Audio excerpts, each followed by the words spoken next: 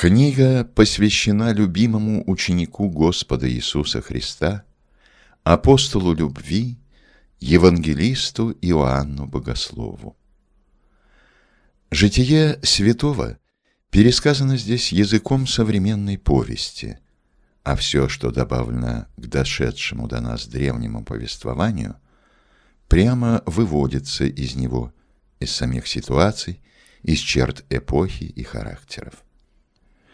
Чтобы рассказ о святом был полнее, в книгу включены отрывки подлинных посланий апостола Иоанна Богослова, пронизанные тем же духом любви, что и все его житие. А рассказ о чудесах святого покажет, почему Иоанн Богослов является покровителем иконописания и как богато он явил свое заступление – на нашей русской земле. В конце книги словарик с объяснением непонятных слов и выражений. Жребий апостола. Читал ли ты Евангелие, вечную книгу? Но если даже ты не читал все Евангелие целиком, ты можешь знать, что Евангелий четыре.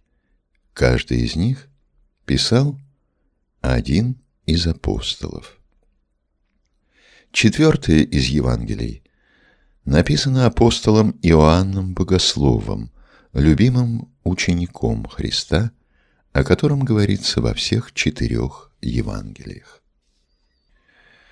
Он, один из учеников Христовых, стоял у креста вместе с Матерью Божией, и Господь Иисус Христос видя матерь свою и ученика тут стоящего, сказал матери своей, «Женщина, вот сын твой». И потом ученику Иоанну, «Вот матерь твоя».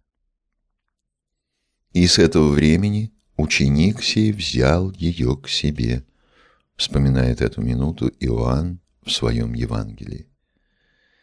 С тех пор Матерь Божия жила в доме Иоанна. Шли годы. Около десяти лет занимались апостолы устроением церкви в Иерусалиме. А потом начались первые гонения на христиан. Царь Ирод Агриппа обезглавил апостола Иакова, заключил в темницу апостола Петра и тоже хотел убить его. Тогда апостолы с согласия Пресвятой Богородицы, решили, что пора им удалиться из Иерусалима и нести веру Христову в разные страны, все дальше. А чтобы все это совершалось не по человеческим хотениям и случайному выбору, они бросили жребий, кому, какую страну избрать для проповеди. На табличках ли или на клочках пергамента или папируса, этого мы не знаем, и предание нам не сохранило. Они написали названия разных стран и дальних областей, и каждый вынул свой жребий. Иоанну Богослову досталась Азия. Но прежде всего Иоанн должен был оставаться с Пречистой Девой Богородицей, которую поручил ему сам Господь. И еще годы прошли. Много разного было за эти годы.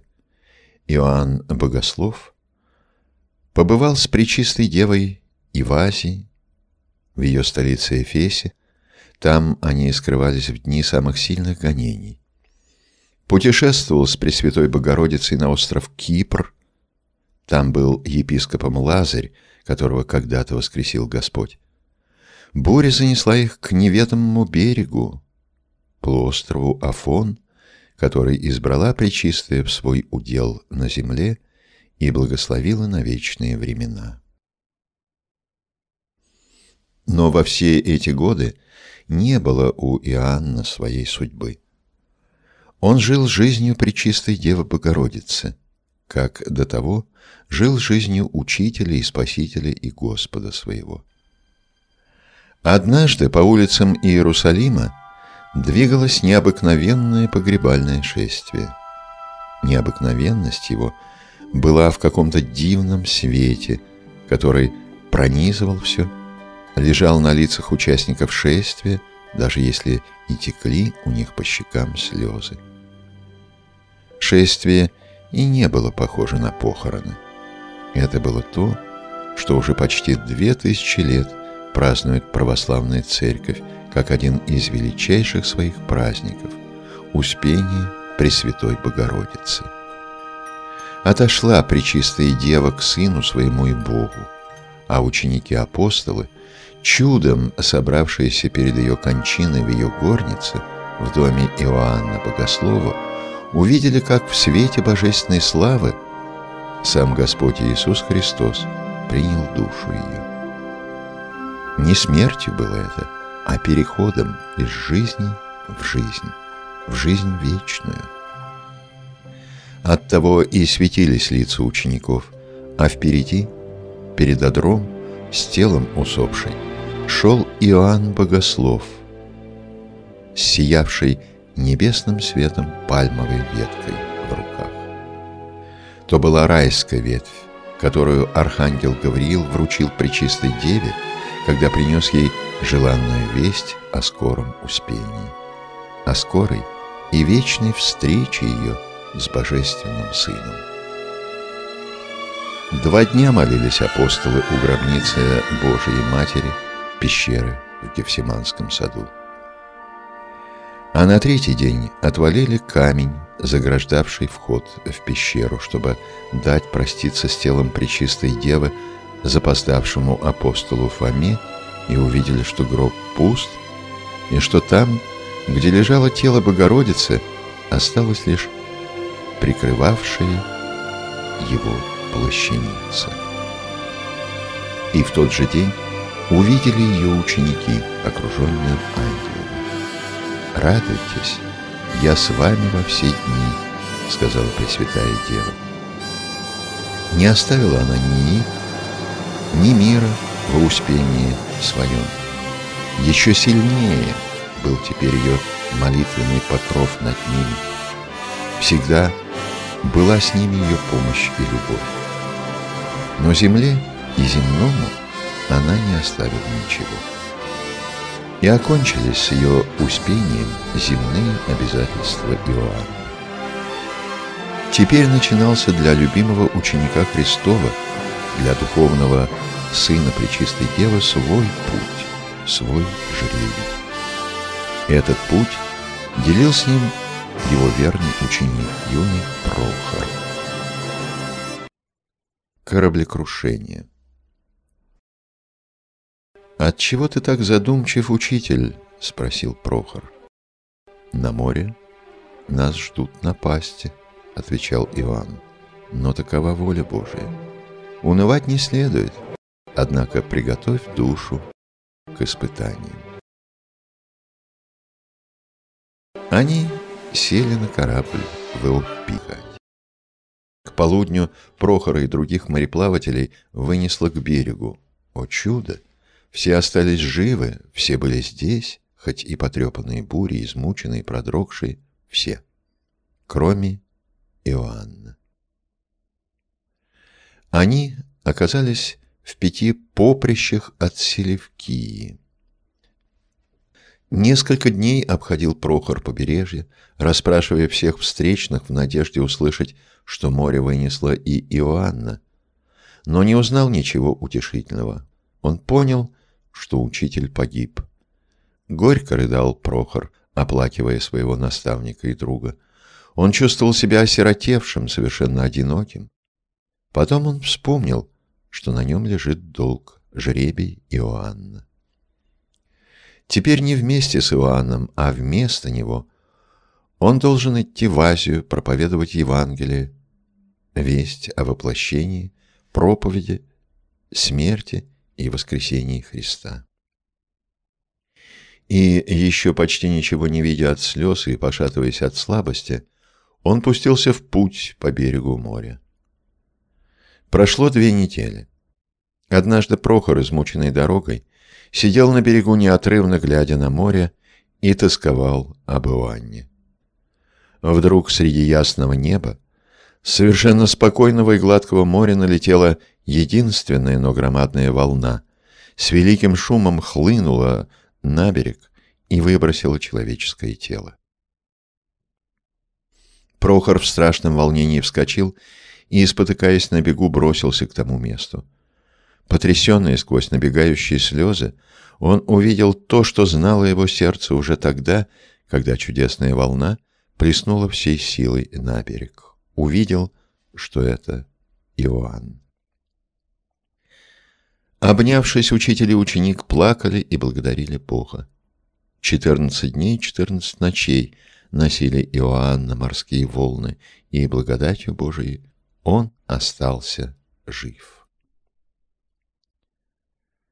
В селении путники попросили воды и хлеба, и, подкрепившись, отправились в Эфес. Через полмесяца пути они достигли цели своего путешествия. За несколько лет до этого в Эфесе целых три года проповедовал Евангелие и претерпел немало приключений апостол Павел. Об этом рассказывается в книге «Деяния святых апостолов», входящей в Новый Завет, в главах 18 и 19. Но Иоанн не стал разыскивать эфесских христиан. Он знал, что неизбежно встретится с ними, а сейчас он пришел к язычникам Эфеса, к тем, кто еще не познал истинного Бога и ничего не слышал о Христе. Нищими, никому неведомыми странниками пришли Иоанн и Прохор в большой, знаменитый, богатый город Эфес.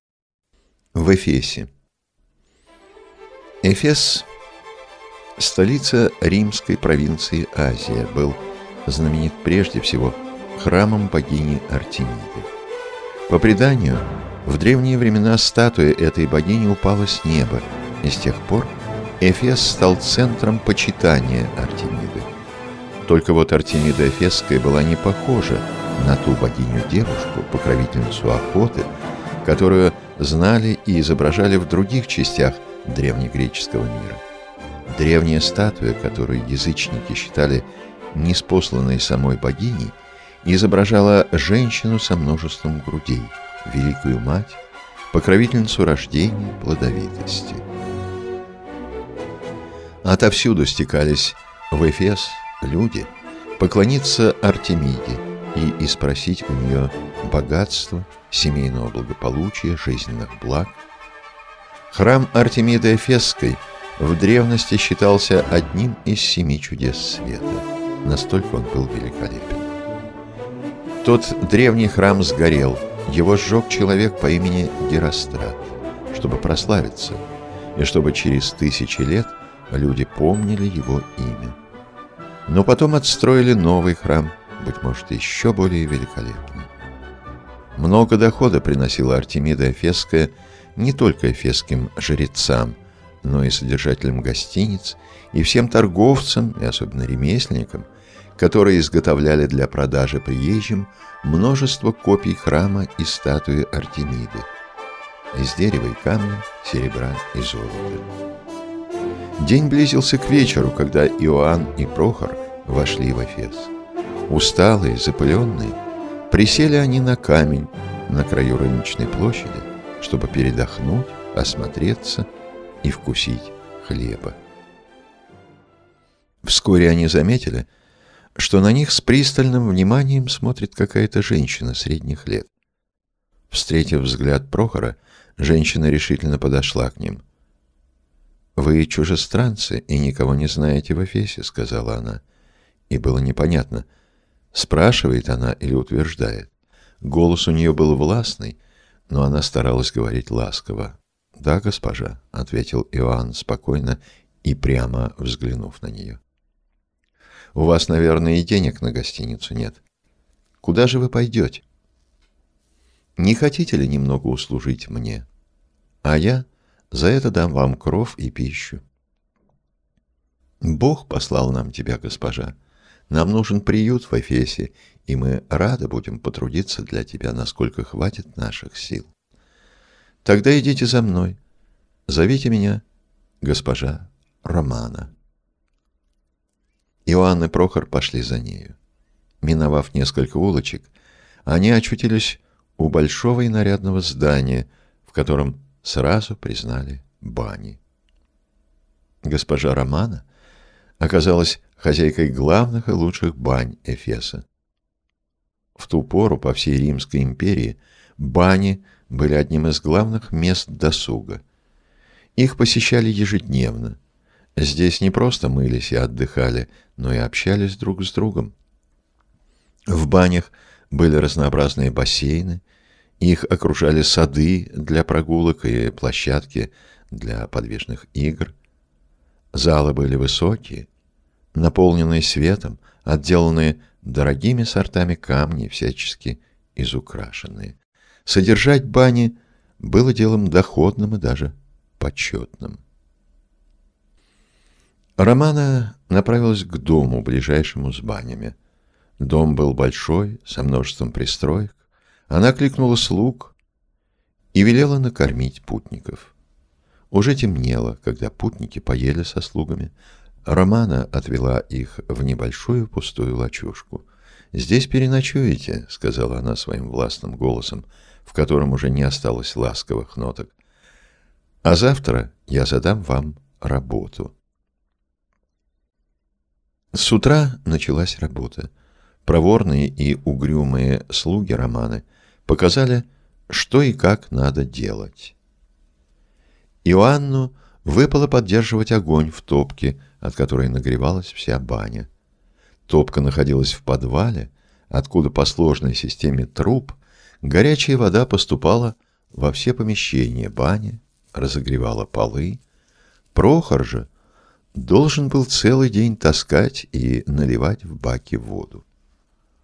В Эфесе, как и в других благоустроенных городах Римской империи, был акведук, то есть наружный водопровод, по которому вода поступала в город от чистых источников за его пределами.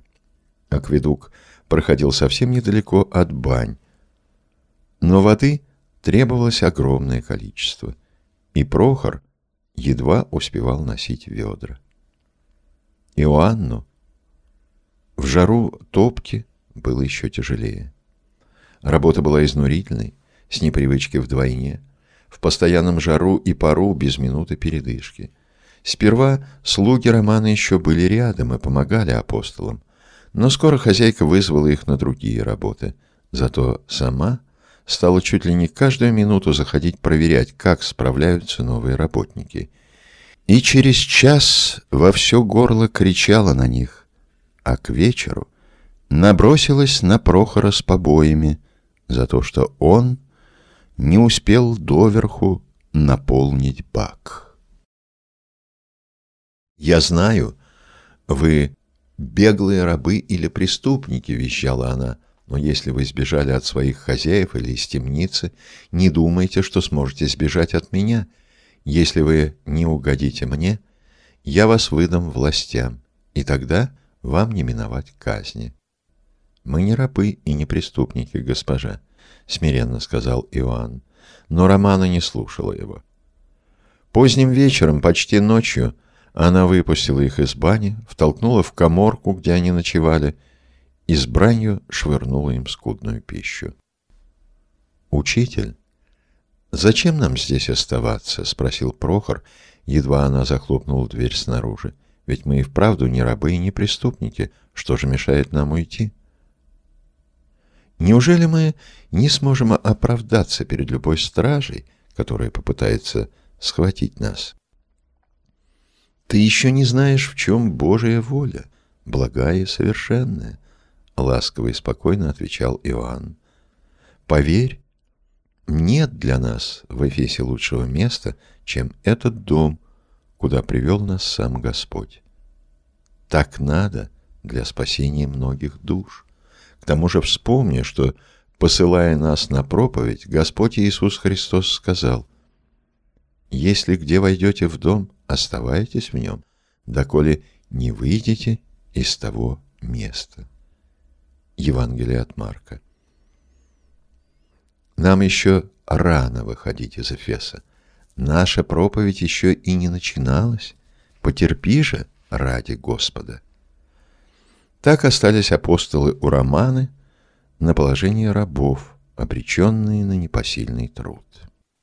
Гибель Домна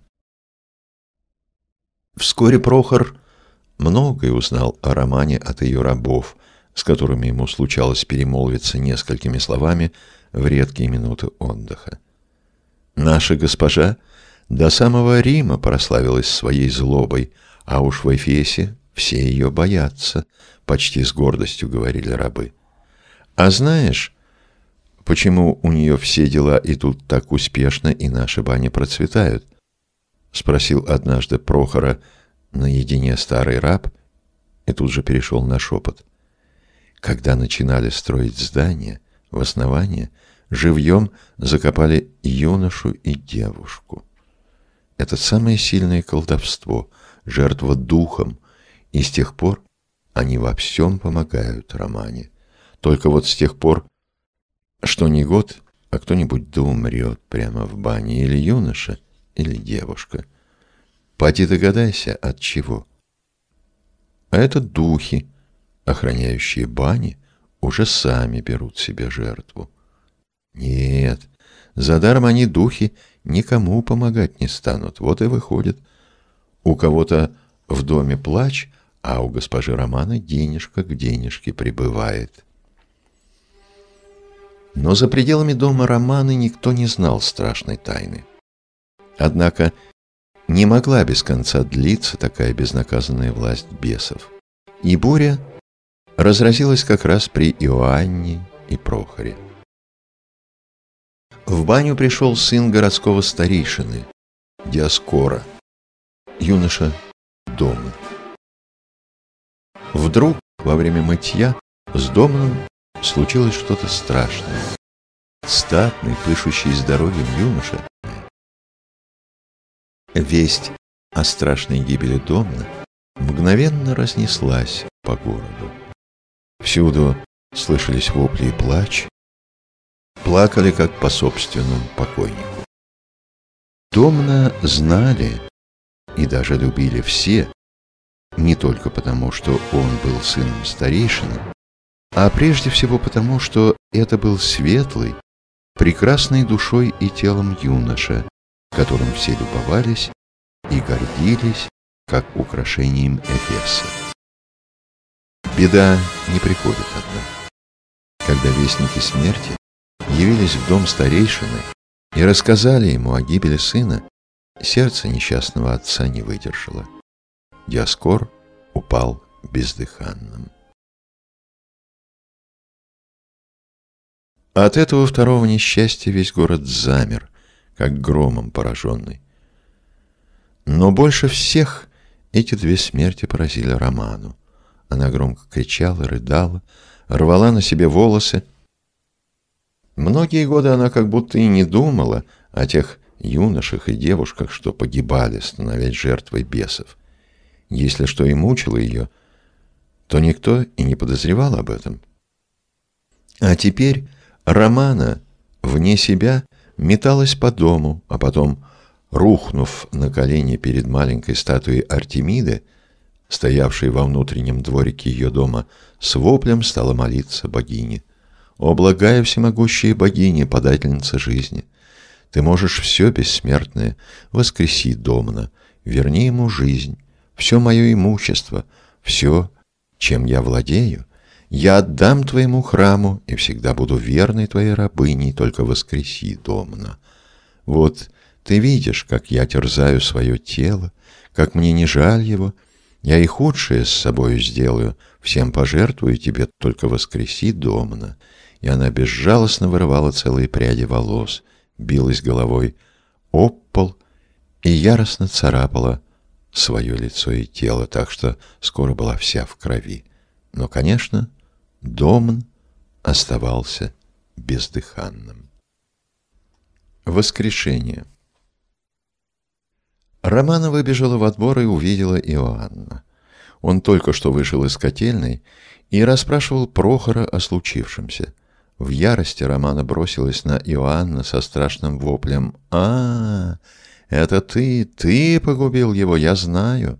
Ты хотел моей погибели, и потому накалил котел так, что бедный мальчик не выдержал жара и умер. Ты убийца. Ты. И она безжалостно вцепилась в волосы и бороду Иоанна, стала бить его и кричать. «Если ты не воскресишь Домна, я вот этими самыми руками вырву душу из твоего тела». Иоанн спокойно отстранился. Руки Романа разжались сами и сказал «Веди меня к нему». Тело юноши, прикрытое покрывалом, все еще лежало во дворе бани. Из-за внезапной смерти отца никто не успел распорядиться о том, чтобы приготовить тело сына к погребению. «Отойдите все», — сказал Иоанн и добавил, — «все, кроме Прохора». Все покорно отошли, а Иоанн откинул покрывало с лица юноши и погрузился в глубокую молитву. Никто не понял, сколько прошло времени, долго ли длилась эта неслышная для стоявших поодаль потрясенных свидетелей молитва. Мало того, все, кто стоял там во дворе, не могли и глаз поднять на Иоанна. Не осталось ни любопытства, ни мыслей, а только страха ожидания. А потом они смогли поднять глаза и увидели, что Домн сидит. И это был не оживший покойник, не какой-то живой труп, а тот светлый ясный юноша, которого любил весь Эфес, полный жизни, настоящий. Только в лице его было что-то невыразимое, еще не здешнее. Романа бросилась к ногам Иоанна. «Ты Бог!» — кричала она. «Бог или Сын богов? Прости меня, бессмертный!» В ответ Иоанн стал говорить ей о едином истинном Боге, о силе Христовой, и учил ее веровать во Христа, Сына Божия. А потом, вместе с Прохором, Романой и Домном, Иоанн вошел в дом Диаскора и воскресила его – и Дом, и Диаскор, и Романа всей душой уверовали в Господа Иисуса Христа, о котором поведал им Иоанн, и приняли от рук Иоанна святое крещение. Романа принесла покаяние во всех своих грехах. Иоанн изгнал из бани злого беса, а после этого, по просьбе Диаскора, вместе с Прохором стал жить в его доме. Романа не смела упрашивать их остаться у нее. Она и сама почти поселилась в доме Диаскора. Иоанн утверждал новопросвещенных в вере и учил их добродетельной жизни. Святое крещение называется также просвещением. В этом таинстве человек озаряется светом Божиим, становится сыном света. Чудеса перед храмом Артемиды. Вскоре в Эфесе наступил ежегодный праздник Артемиде. Народ в белых одеждах торжествовал и ликовал при храме. Перед храмом стояла статуя Артемиды. Иоанн вышел на это торжество, встал на высоком месте близ идола и начал обличать народ в слепоте, что они не знают, кому поклоняться, и вместо Бога почитают беса. Эфесяне, вы собрались тут, думая, что чтите богиню. Слепцы, вы поклоняетесь бесу вместо Бога. Толпа пришла в ярость, нечестивец, смерть ему. В Иоанна полетели камни, но что это? — ни один из камней не попал в него. Все пролетали мимо и попадали в самих бросающих. Сначала никто не понял, в чем дело. Смятение и крики толпы только усиливались. Но когда уже многие упали на землю окровавленными, толпа растерялась. Пронесся ропот ужаса. Иоанн поднял руки к небу и стал молиться. Вдруг Воздух сделался знойным, совсем горячим. Многим стало дурно. Около двухсот человек упало замертво. Страх охватил толпу, и те, кто лишь несколько минут назад швырял камни в Иоанна, протянули к нему руки и стали с мольбой взывать. «Смилуйся, Божий человек, смилуйся, великий волшебник, восставь наказанных тобой». И вот по молитве Иоанна наступила прохлада, а к лежавшим бездыханными людям вернулась жизнь. Никто уже не думал об Артемиде, о древнем празднике. Все внимали каждому слову Иоанна, а он говорил народу о едином истинном Боге, о Христе, Сыне Божием, о Его любви к людям, Его великой жертве за мир и славном Его воскресении, и о том, как соединиться со Христом Спасителем, как обрести жизнь вечную в таинстве крещения. И все слушавшие уверовали по слову Его и крестились. Месть Много и других чудес совершил Иоанн в эти дни. Слух о них пронесся повсюду. Но Эфес — большой город — да еще всегда полные приезжих, и лишь малая часть из этого множества людей присутствовала при чудесах и слышала проповедь Иоанна. Остальные же с удовольствием пересказывали слухи о чудесах, мечтали взглянуть на нового чудотворца и вовсе не думали менять свою жизнь. Храм Артемиды не опустел. По-прежнему на кораблях и пешком прибывали в Эфес толпы людей – поклониться богине. Но бес, живший в Артемидином капище, понимал, что пока Иоанн здесь, в Эфесе, ему, бесу, не будет покоя, и скоро его власти придет конец. И он решил погубить Иоанна.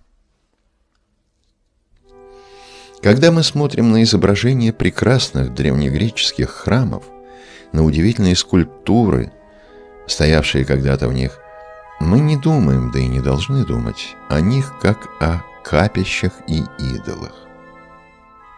Перед нами красота, которой уже тысячи лет восхищается человечество. Но люди древности шли сюда не как в музее. Они шли сюда поклониться своим богам, богам которых нет, у богов которых нет. Просили они благополучие в торговле и благословение на брак, удачи в делах и успеха в любви, богам, которых нет, приносили жертвы и готовы порой были посвятить всю свою жизнь.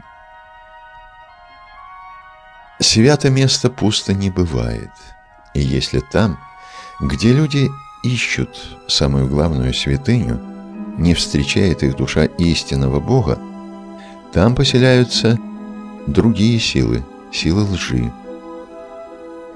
Отцом лжи назвал Господь Иисус Христос дьявола. И за прекрасными статуями и колоннами, пока к этим статуям и колоннам приходят молиться неправде, встречают людей дети Отца лжи. Вот почему они радуются, вот что они шепчут – Верьте бездушному камню, доверяйтесь ему, надейтесь на него, отдавайте ему лучшие силы вашей души. Может быть, другого ничего им и не нужно, только бы люди не познали Бога и не узнали правды Его.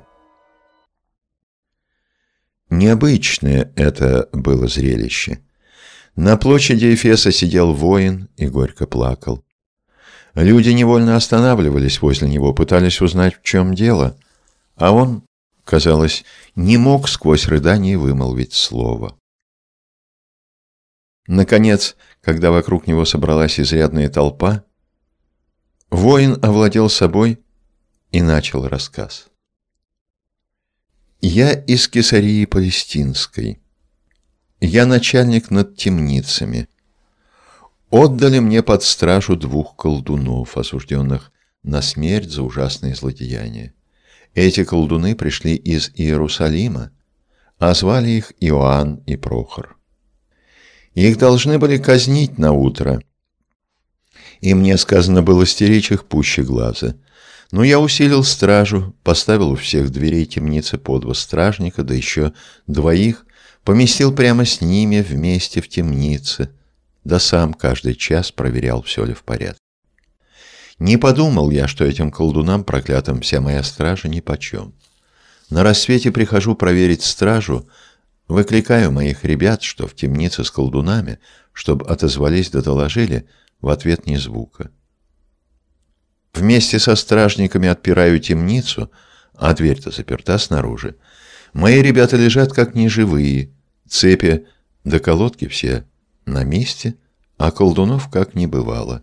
Ни следа и ни щелочки, куда бы они пролезть могли. Все колдовство их проклятое. Князь, как узнал, затрясся весь и кричит, тебя самого вместо них казню. Я еле умолил князя, чтобы дал мне сроку, допустил меня отыскать их. Уж как я их разыскивал, да сколько бед претерпел, этого и не рассказать. И вот нашел я их, нашел, тут нашел, в Эфесе. А как их схватить, злодеев-то этих? Я ж один, и помочь мне некому, пропадать мне видно из-за их колдовства. И воин, а это и был бес, обитавший в храме Артемиды, зарыдал пуще прежнего. Так рыдая, он вытащил из-за пазухи грамоту с княжеской печатью, развернул ее и стал показывать слушателям. Это было свидетельство на поимку двух опасных государственных преступников Иоанна и Прохора, приметы которых в грамоте приводились. Потом воин вынул из-за пазухи и увесистый узелок с золотом. Он развязал его, чтобы показать золото всем желающим. Вот все мои сбережения. Да жизнь-то дороже. Все это отдам тому, кто поможет мне поймать злодеев. «Да мы их знаем», — послышались голоса из толпы. «И верно, это же колдуны, особенно Иоанн. Весь Эфес слышал, что он тут вытворял. Они живут у Диаскора. Особенно взволновались воины, которых было немало в толпе. Они-то и подняли весь народ и двинулись к дому Диаскора. У многих в руках были горящие факелы. «Или выдай нам колдунов, или твой дом зажжем», — сказали солдаты Диаскору, а толпа начала хором кричать «Отдай колдунов! Отдай колдунов!». Конечно, Диаскор даже ценой жизни не соглашался выдать Иоанна и Прохора. Он пытался убедить толпу, что они вовсе не колдуны, а напротив люди святой жизни, но никто его не слушал. «Лучше я лишусь дома, чем выдам их вам», — крикнул Диаскор, — но тут его тронул за плечо подошедший сзади Иоанн и спокойно сказал «Оставь, Тиаскор. Этот народный мятеж приведет к добру. Не бойся выдать нас». Иоанн и Прохор вышли из дома Диаскора и предали себя в руки толпы. Толпа повлекла их к храму Артемиды. Когда толпа остановилась на площади перед храмом, чтобы произнести перед лицом богини свой приговор пленникам, Иоанн воздел руки и помолился Богу. И тотчас храм рассыпался, как игрушечный, и при этом ни один обломок не задел никого, не причинил никому вреда.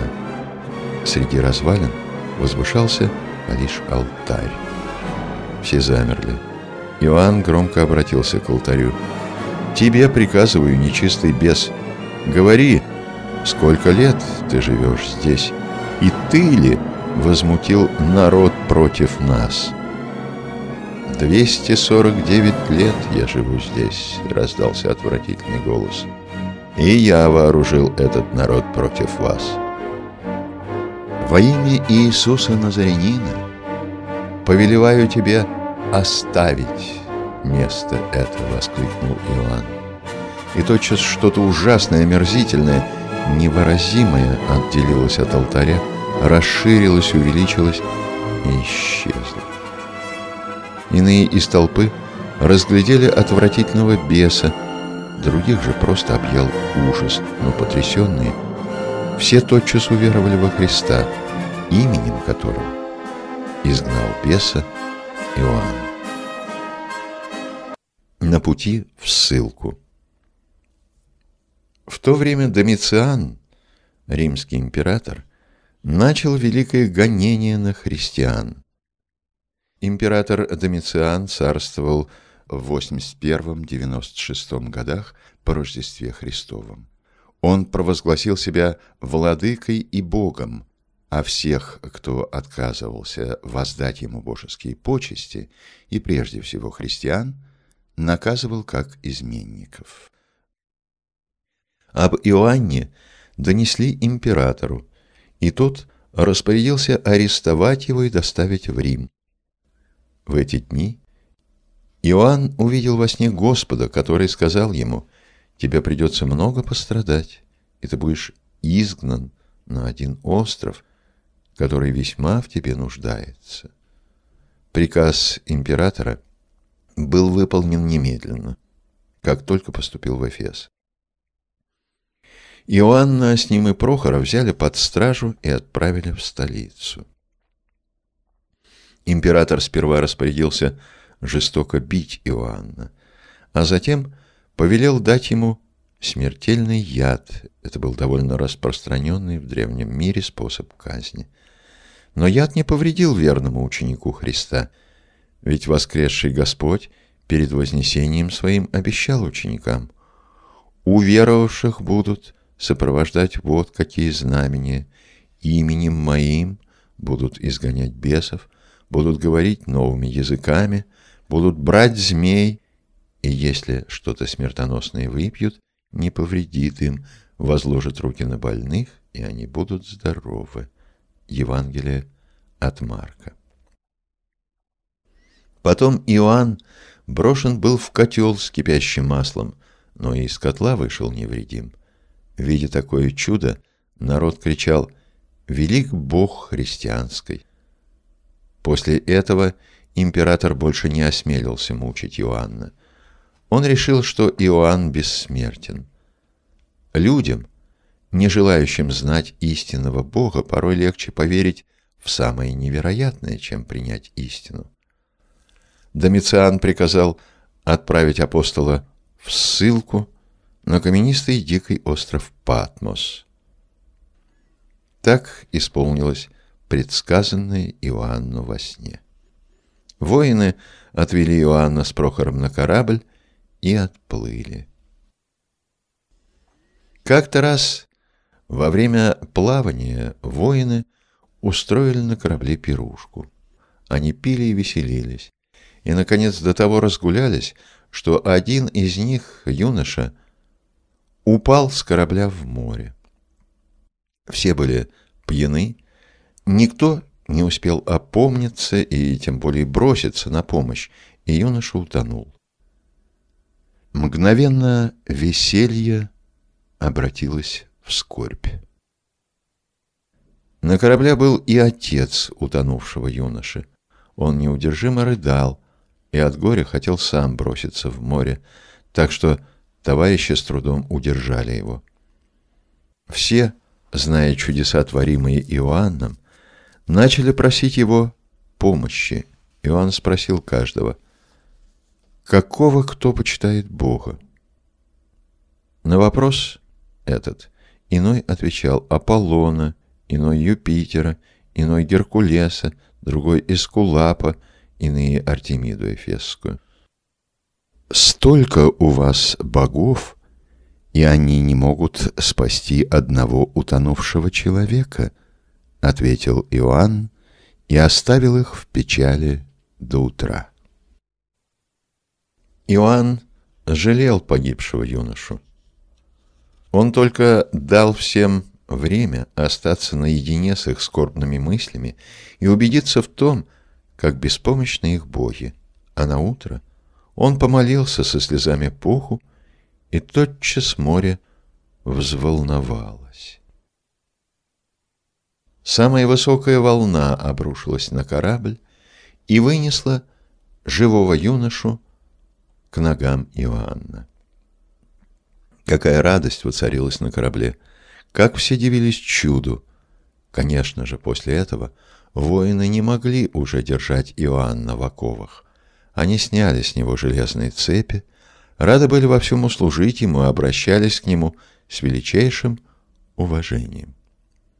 Но путешественников ожидали новые испытания.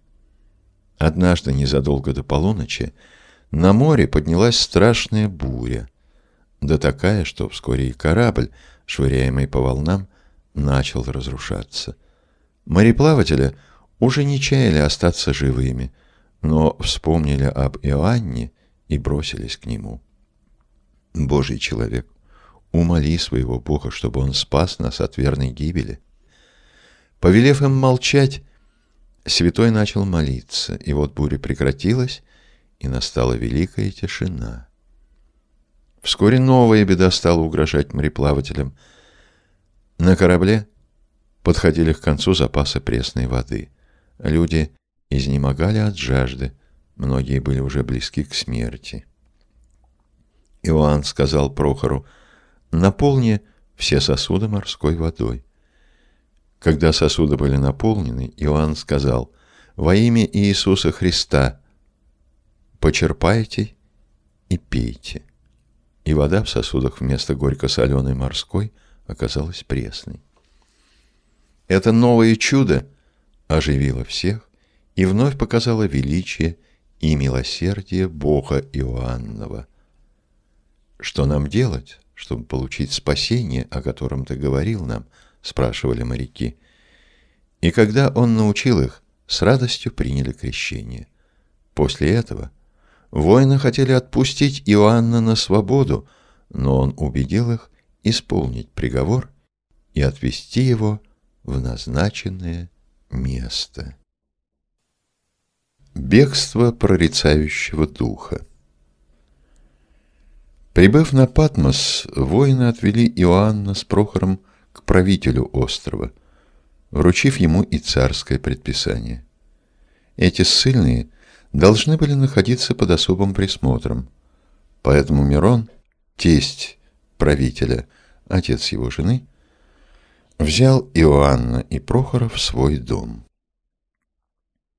У Мирона был старший сын по имени Аполлонит, которого все считали за пророка. И действительно, Аполлонит очень часто верно предсказывал будущее, мог рассказать человеку о том, чего никто не мог знать. Происходило это потому, что в Аполлонида вселился бес прорицающий, то есть предсказывающий будущее и рассказывающий о тайном. В первый же день, после того, как Мирон взял в свой дом Иоанна и Прохора, Аполлонид пропал. Розыски ничего не дали, в доме поднялся плач. Наконец Мирон получил письмо от сына. Тот писал, что находится в другом городе, что его изгнал из дома своим чародейством Иоанн, и что он не может возвратиться до тех пор, пока Иоанн не будет погублен. Понятно, кто заставил бежать Аполлонида из дому и научил его написать такое письмо.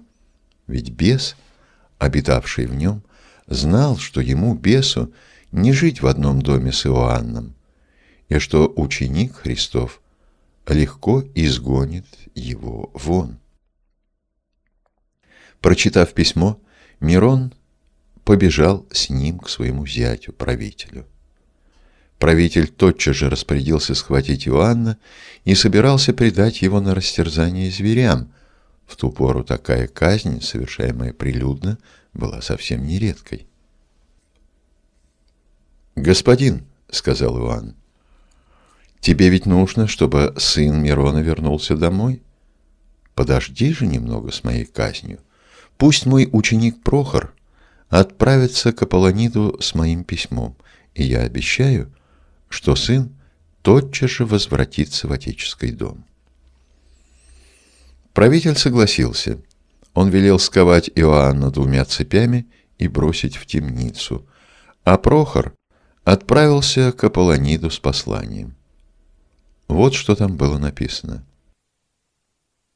Иоанн, апостол Иисуса Христа, Сына Божия, прорицающему Духу, живущему в Аполлониде, повелевает во имя Отца и Сына и Святого Духа, выйди из создания Божия и не входи в него никогда, но вне острова оставайся один в местах безводных, а не в людях. Когда Прохор пришел с этим письмом к Аполлониду, тотчас бес вышел из него. Словно от сна пробудился Аполлонид, к которому вернулся здравый смысл, и поспешно устремился в родной город, обгоняя Прохора и торопя его. Но не в дом свой бросился прежде всего Аполлонид, а в темницу к Иоанну. Упав к ногам апостола, юноша благодарил его за освобождение от нечистого духа. Вскоре к темнице сбежались все родные Аполлонида, радовались и ликовали. Иоанн был немедленно освобожден от уз. Когда общее возбуждение немного утихло, Аполлонид начал свой рассказ. Вот уже много лет прошло, как все это случилось. Однажды я крепко спал на своей кровати. Вдруг кто-то, он стоял с левой стороны кровати, стал трясти меня и разбудил. Я открыл глаза и увидел, что он черный-черный, как головня, а глаза у него огненные, так и горят, будто там свечки. Я сотрясся от страха, а он сказал мне «раскрой рот». Я раскрыл, и тогда он влез в мой рот. Я чувствовал, как он поместился в моем животе. С этого самого часа я стал знать все и о добре, и о зле, и обо всем, что делалось в доме. Когда же апостол Христов вошел в наш дом, тогда сидящий во мне сказал, «Беги отсюда, Аполлонит, чтобы не погибнуть злой смертью, потому что человек этот чародей и хочет тебя умертвить» и я тотчас убежал в другой город. Иногда приходила мне мысль возвратиться домой, но он не позволял мне, говоря, «Если Иван не умрет, ты не можешь жить в своем доме». А когда ко мне пришел Прохор, и я увидел его, нечистый дух тотчас вышел из меня таким же образом, как вошел в мой живот. Я почувствовал облегчение от ужасной тяжести, пришел в разум, и мне стало хорошо. Услышав этот рассказ, все припали к ногам Иоанна. Тогда он стал рассказывать о Господе нашем Иисусе Христе и учил всех вере. Мирон с женой и детьми уверовали и крестились. Дом Миронов наполнился радостью. Вскоре и дочь Мирона Хризипида жена правителя, приняла со своим сыном и всеми рабами святое крещение, а вслед за ними крестился и сам правитель Лаврентий. А чтобы свободнее служить Богу, Лаврентий сложил с себя сан правителя, ведь праве Патмосом он должен был бы выполнять распоряжение безбожного императора. Чародей Кинопс. Три года прожил Иоанн в доме Мирона. Здесь силою Христовой он сотворил множество чудес, исцелял больных и изгонял бесов, одним своим словом разрушил храм Аполлона со всеми его идолами, обратил к вере во Христа и крестил многих людей. В тех местах, в пустыне, жил Волхв-чародей Кинопс. Силой нечистых духов он мог показывать такие чудеса, что жители Патмоса стали считать его богом. Да и удивительно ли это, если в древнем мире было столько мифов о множестве богов, которые то и дело сходили на землю к смертным, влюблялись в них, женились, обманывали, наказывали, награждали, обижались, мстили. Вот к Кинопсу-то и пришли жрецы Аполлона, озлобленные разрушением капища и тем, что Иоанн обратил всех людей к вере во Христа. «Отомсти этому нечестивцу за бесчестие нашего Бога», — умоляли они Кинопса. Кинопс уже много лет безвыходно жил в пустыне и ни за что не хотел покидать ее и идти в город. Но жрецы стали ходить к нему снова и снова, умоляли его, докучали ему и совсем не давали покоя. И Кинопс наконец согласился. Нет, не покинуть свою пустыню, он был слишком горд для этого. А вот наказать Иоанна он решился. «Вы знаете, что мне повинуются духи?» — сказал он. «А кто не знает, может теперь убедиться». «Я не пойду в город, но завтра же утром я пошлю туда, в дом Мирона, могучего духа, который возьмет душу вашего Иоанна и предаст ее на вечные мучения. Утром Кинопс вызвал одного из князей над злыми духами и приказал принести к нему душу Иоанна. Бес в мгновение ока перенесся в дом Мирона, на то место, где находился Иоанн. Иоанн тотчас увидел его духовным взором и сказал, «Дух нечистый, Именем Христовым повелеваю тебе не сходить с этого места. Отвечай, зачем ты пришел ко мне? Бес словно прирос к месту. Пришлось ему все рассказать. Жрецы Аполлона пришли к Кинопсу и умоляли его, чтобы он шел в город и навел на тебя смерть, а он не захотел. Он сказал, много лет я живу на этом месте, не выходя. Мне или великому чародею утруждать себя из-за дрянного ничтожного человечешки? Идите во свояси, а я утром пошлю своего духа, чтобы он взял его душу и принес ко мне, а уж я предам ее на вечные мучения. «Посылал ли он тебя когда-нибудь взять душу человеческую и принести ему?» — спросил Иван. «Вся сила сатанинская находится в кинопсе», — отвечал бес. «Он в дружбе с нашими князьями, и мы в дружбе с ним. Он повинуется нам, а мы ему».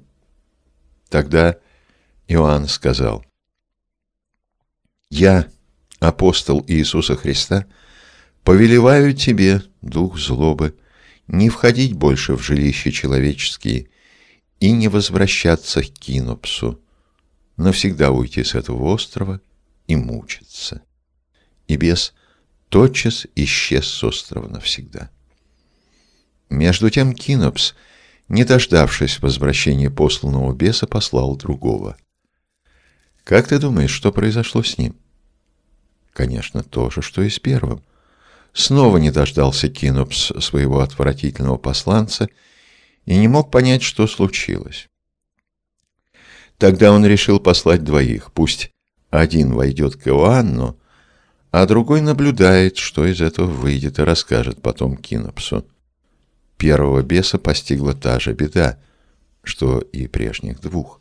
Иоанн именем Христовым выгнал его с Патмоса, а второй, тот, что стоял снаружи, увидев все, в ужасе полетел к Кинопсу и рассказал ему, что было. Ох, как разъярился Кинопс! Он собрал все бесовское войско и во главе его пошел в город. Кто сильнее? В это время Иоанн на рыночной площади поучал народ.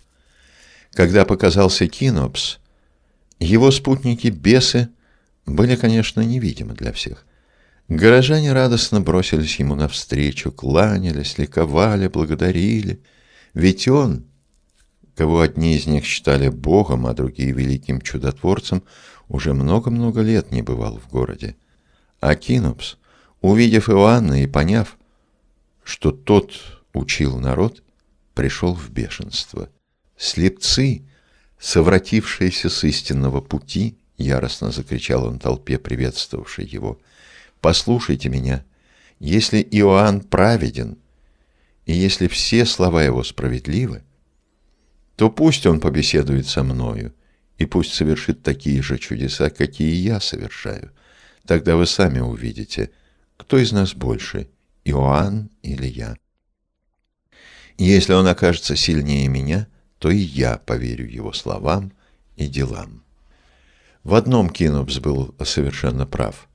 Если уж верить Иоанну, который учит о единственном истинном Боге, то никак нельзя радоваться и поклоняться чародею и считать его за Бога. Или Кинопс и его бесы, или Иоанна Христос. Кинопс выхватил из толпы одного юношу, поставил его перед всеми и спросил, «Жив ли твой отец?» «Умер», — отвечал юноша. «Какой смертью?» «Он был моряк», Корабль, на котором он плавал, разбился, и отец утонул. Тогда Кинопс повернулся к Иоанну и сказал, «Покажи нам, Иоанн, свою силу, чтобы мы поверили твоему учению. Представь сыну отца его живым. Христос послал меня не мертвых извлекать из моря, а учить обманутых людей —— отвечал Иоанн. «Вот видите», — обратился Кенопс к народу, — «этот Иоанн — обманщик. Он только и может, что мутить вам голову своими речами. Хватайте же его и держите, чтобы не убежал. Сейчас вы увидите, как я верну юноше отца его живым». И те, кто всего час назад слушали Иоанна, схватили его. Кинопс торжественно поднял руки и ударил в ладоши. И тотчас море взволновалось и забурлило, все пришли в ужас, а Кинопс сделался невидимым. «Велик ты, Кинопс!» — закричали все. Внезапно Кинопс вышел из моря, ведя за собою человека.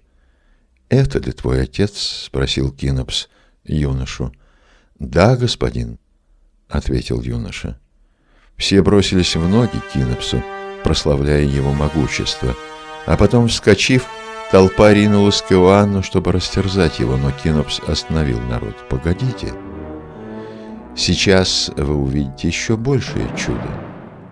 Тогда уж и мучьте Иоанна». Он снова выхватил из толпы человека, на этот раз не молодого. «Был ли у тебя сын?» — спросил Кинопс. «Да, господин», — ответил тот. Был у меня сын, но из зависти убит. А убийца где? Его казнили, господин. Кинопс закричал страшным голосом. Он вызывал по именам убитого и убийцу. В ту же минуту оба предстали пред ним. «Это ли твой сын, и это ли его убийца?» — спросил Кинопс. «Да, господин», — отвечал тот. Кинопс с торжеством повернулся к апостолу. «Ну что?» Удивляешься, Иоанн? Нет, я этому не удивляюсь, тихо и спокойно ответил Иоанн. Погоди, надменно сказал Кинопс. Скоро ты увидишь такое, что удивишься. Прежде чем ты умрешь, я приведу тебя в ужас и трепет чудесами. Все твои чудеса скоро рушатся, отвечал Иоанн. Услышав такие слова, разъяренная толпа набросилась на Иоанна – его били до тех пор, пока не сочли мертвым. «Оставьте его без погребения», — сказал Кинопс. «Пусть его съедят хищные птицы». И все ушли с того места вместе с Кинопсом, веселясь и торжествуя, оставив неподвижное тело на земле. Но святой Иоанн не умер от этих побоев — Вскоре стало известно, что он снова учит народ за чертой города. Кинопс взял с собой трех бесов, которых люди считали воскрешенными мертвецами, и вместе с ними отправился на место, где был Иоанн. Я намереваюсь тебя еще больше осрамить и постыдить, надменно сказал он Иоанну. Только для этого я и оставил тебя в живых. Иди на песчаный берег моря. Там ты увидишь мою славу и будешь окончательно посрамлен. Иоанн нисколько не противился и тут же пошел вслед за Кинопсом. За ними двигалась толпа народа. За Кинопсом с тех пор, как он пришел в город, все время ходили толпы. Все пришли на морской берег. Кинопс торжественно встал на берегу, воздел руки, хлопнул в ладоши, бросился в море и исчез в волнах. Народ закричал «Велик ты, Кинопс!» И нет никого большего тебя. Мы не знаем, какое чудо собирался явить Кинопс и чем он думал посрамить апостола. Этого не узнал никто. Когда Кинопс скрылся в волнах, Иоанн приказал бесам, стоявшим рядом в подобии человеческом, не отходить от него. И помолился он Богу, чтобы Кинопс погиб. Тихое море внезапно возмутилось, вскипело волнами, и Кинопс не мог уже выйти из воды. Так и остался он на дне морском, а бесам тем, которых все считали за людей, воскресших из мертвых, Иоанн сказал, «Во имя Господа Иисуса Христа, распятого и воскресшего в третий день, повелеваю вам, уйдите с этого острова». И они тотчас исчезли. А народ еще три дня и три ночи сидел на песке, дожидаясь Кинопса. Многие из них могли от жажды, голода и зноя, а отойти никто не решался, боясь пропустить великое чудо. Трое детей даже умерли. Иоанн сжалился над ними, помолился об их спасении, воскресил умерших детей, исцелил больных и долго поучал их вере, так что все уверовали, крестились и разошлись по домам славе Христа. А Иоанн возвратился в дом Миронов и часто выходил к народу, уча о Христе и Иисусе. Великий Бог Волк Много исцелений и чудес совершил Иоанн в том городе, а прожил он там в доме Мирона три года. После этого он решил отправиться в другой город – верстах в пятидесяти, жители которого оставались во тьме идолопоклонства. Когда Иоанн вошел в этот город, то увидел народ, совершающий праздник, и тут же связанных юношей. Иоанн спросил одного из стоявших, для чего связаны эти юноши? «У нас есть великий бог-волк», — ответил тот, — «и сегодня мы совершаем ему праздник, Ему-то в жертву и будут заколоты эти юноши. «Покажи мне этого Бога», — сказал Иоанн. «Если хочешь его видеть, то подожди до часа пополудни». Тогда жрецы вместе с народом пойдут на то место, где Бог является. С ними ты пойдешь и увидишь Бога-волка. «Очень хочется мне скорее увидеть вашего Бога», — сказал Иоанн. Я вижу, что ты человек добрый, а я пришел издалека. Только ты можешь помочь мне. Отведи меня скорее на то место, а я дам тебе за это драгоценную жемчужину. Очень захотелось тому получить жемчужину, и он согласился. Привел он Иоанна к болоту и говорит. Отсюда выходит наш Бог и является народу. Иоанн стал ждать, а человек, который его привел, тоже ждал. Ведь когда Бог-волк выйдет из болота, он надеялся получить условленную плату. После полудня вышел из воды бес в виде огромного волка. «Именем Иисуса Христа!» — воскликнул Иоанн. Бес-волк замер, а Иоанн спросил его, «Сколько лет ты живешь здесь?» «Семьдесят лет», — отвечало чудовище. Повелеваю тебе именем Отца и Сына и Святого Духа, уйди с этого острова, и больше не возвращайся сюда, — властно сказал апостол. Бес мгновенно исчез. Увидев все это, человек, приведший Иоанна, пришел в ужас и пал к ногам святого. Здесь же, на берегу страшного болота, Иоанн рассказал ему о едином истинном Боге, сотворившем мир, о грехе и истине, о Спасителе нашем Господе Иисусе Христе, о вере и покаянии. И каждое слово святого запечатлялось в потрясенной душе бедного язычника. Вот ты получил от меня жемчужину, которую я обещал тебе, заключил свой рассказ Иоанн. В это время на берегу болота показалась процессия жрецов с ножами в руках. Они вели связанных юношей. За ними шел весь народ в праздничных одеждах. Шествие остановилось, все ждали выхода волка, готовясь заколоть юношей для его насыщения. Долго-долго стояла толпа в ожидании. Наконец Иоанн подошел к ним и сказал, «Развяжите этих несчастных, они свободны». Нет больше вашего бога волка. Это был бес, и его победила и прогнала сила Иисуса Христа. Жрецы пришли в ужас – они не могли поверить, что их Бог погиб, и начали искать его. Но, конечно же, нигде не нашли. Пришлось развязать юношей. Выступив перед растерянной толпою, Иоанн сказал, «Вот видите, до какого безумия обмана доводят незнание истинного Бога. Вы мерзкого и бессильного пред Богом злого духа считали за Бога и отдавали Ему в жертву ваших юношей. И он стал поучать людей истинной вере, рассказывая им о Христе. И многие из них, уверовав, крестились. Старый знакомый.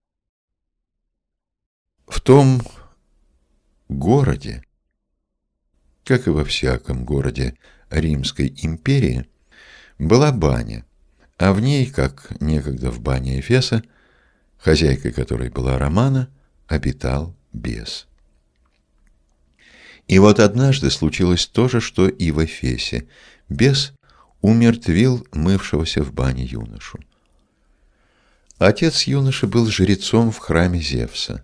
С плачем и рыданием прибежал несчастный отец к Иоанну, умоляя воскресить сына. Ведь он сам был свидетелем, как Иоанн чудесно спас обреченных на смерть юношей и победил злого беса волка. «Если ты воскресишь моего сына, я уверую в того Бога, о котором ты говоришь нам», — сказал жрец. Тело юноши еще оставалось в бане, Иоанн тотчас пошел туда вслед за отцом. Именем Христа, победившего смерть, «Я повелеваю тебе, встань и будь жив!» — воскликнул Иоанн, и юноша воскрес.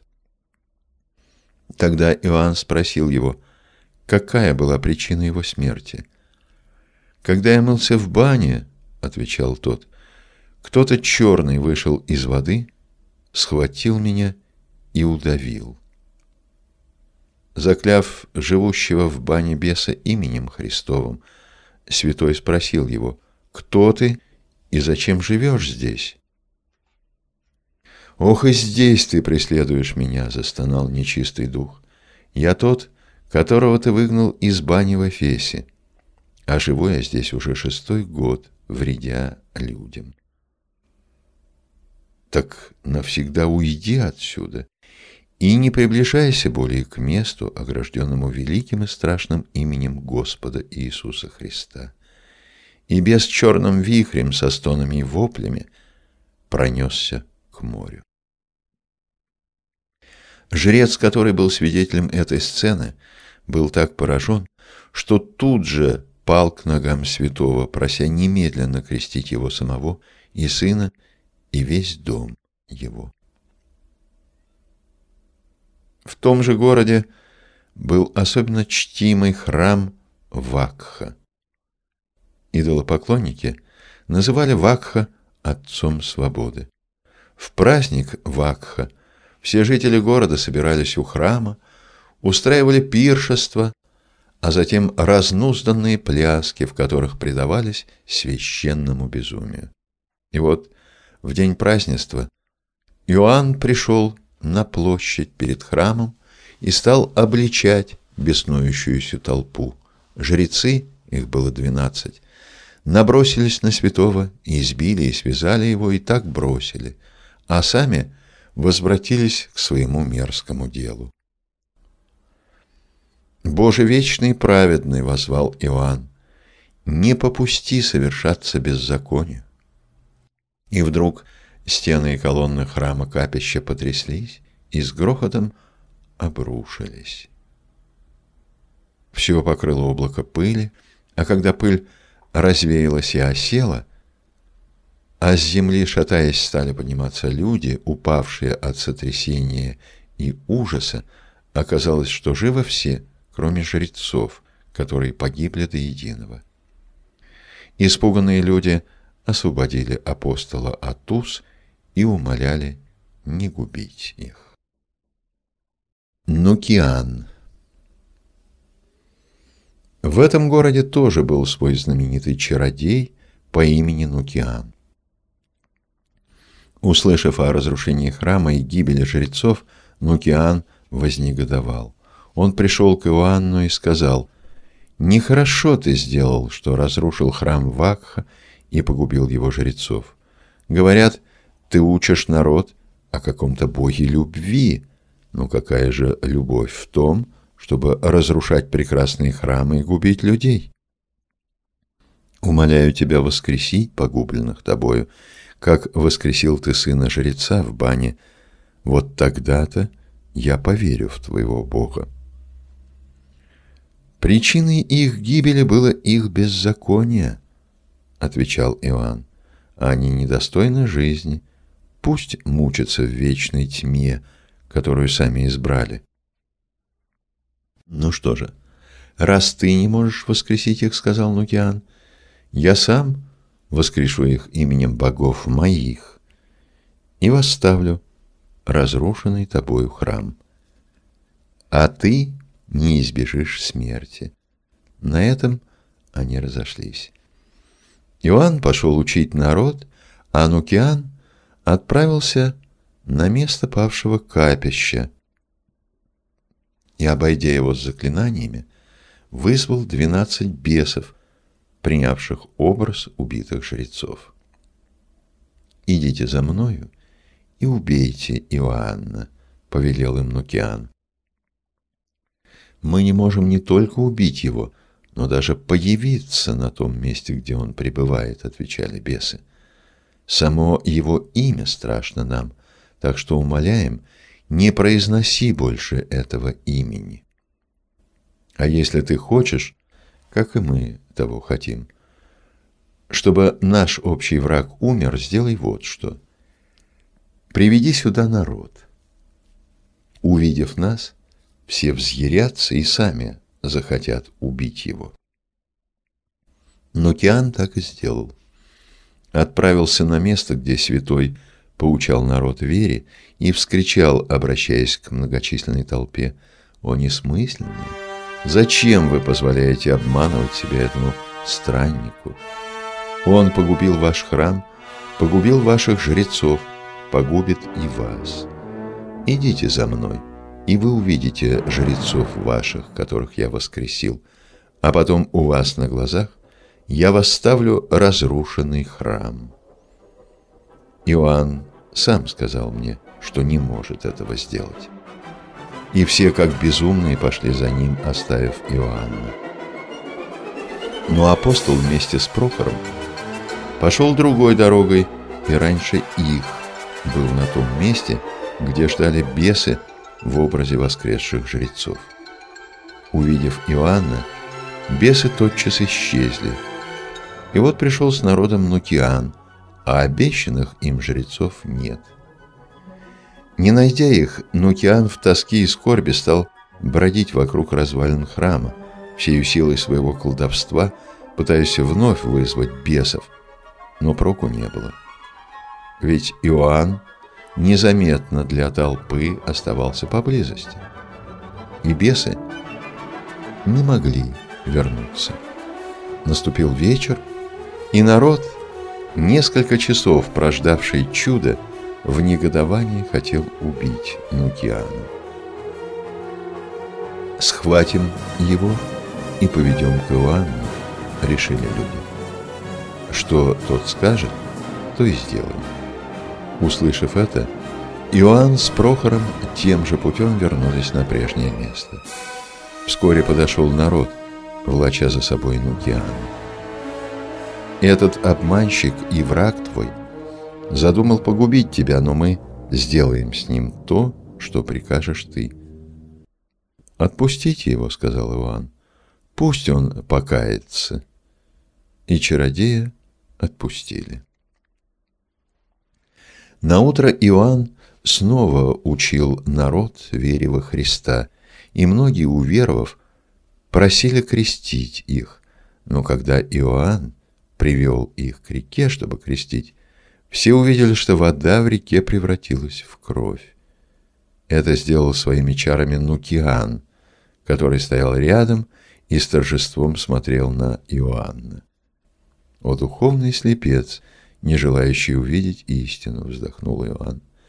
«Ты не прозреешь, пока не будешь наказан. Именем Господа Иисуса Христа достанут твои телесные очи, подобные нынешним душевным. И Нукиан ослеп. А святой помолился над водою, и она снова стала чистой. Иоанн крестил всех уверовавших. Ослепший чародей стоял над рекой, сперва ничего не слыша от ужаса и горя. Он почувствовал, что никакие чары и заклинания не могут помочь ему что он стал самым жалким из людей. Но вот до него стали доноситься звуки, плеск воды, людские голоса и молитвы Иоанна. И сам, не понимая как, он впервые за много лет пришел в чувство. До сих пор он считал себя всесильным, стоящим над всеми людьми, которые не владели волшебным искусством, подобно ему а сейчас он лишился зрения и оказался беспомощнее новорожденного котенка. Могущественные бесы, так много помогавшие ему, оставили его. Он был один, а перед ним была настоящая сила, еще неведомая ему, и эта сила спасала множество людей. Эта же сила бросила Нукиана к ногам Иоанна. Спаси меня, Божий человек, прости меня и мою злобу помоги мне. Умоли твоего Бога исцелить меня. Твердо и ласково поднял Иоанн волшебника с земли, отвел его в сторону от толпы и долго беседовал с ним наедине. А потом он снова подвел Нукиана к реке и крестил его, потому что бывший чародей покаялся и всем сердцем желал обрести истинного Бога, посвятить ему свою жизнь. Трижды погрузил Иоанн Нукиана в воды реки. Крещается раб Божий Нукиан во имя Отца и Сына и Святаго Духа. Аминь. Аминь. Глаза Нукиана вновь видели. Со слезами радости, полной невыразимой благодати и сердечного покоя, какого не знал он за всю свою жизнь, повел Нукиан самого дорогого для себя человека Иоанна в свой дом, чтобы отблагодарить его. Вот вошли они во внутренний двор, встречаемые слугами. Внезапно из комнат послышался шум, и навстречу хозяину выбежали все прочие рабы и домочадцы.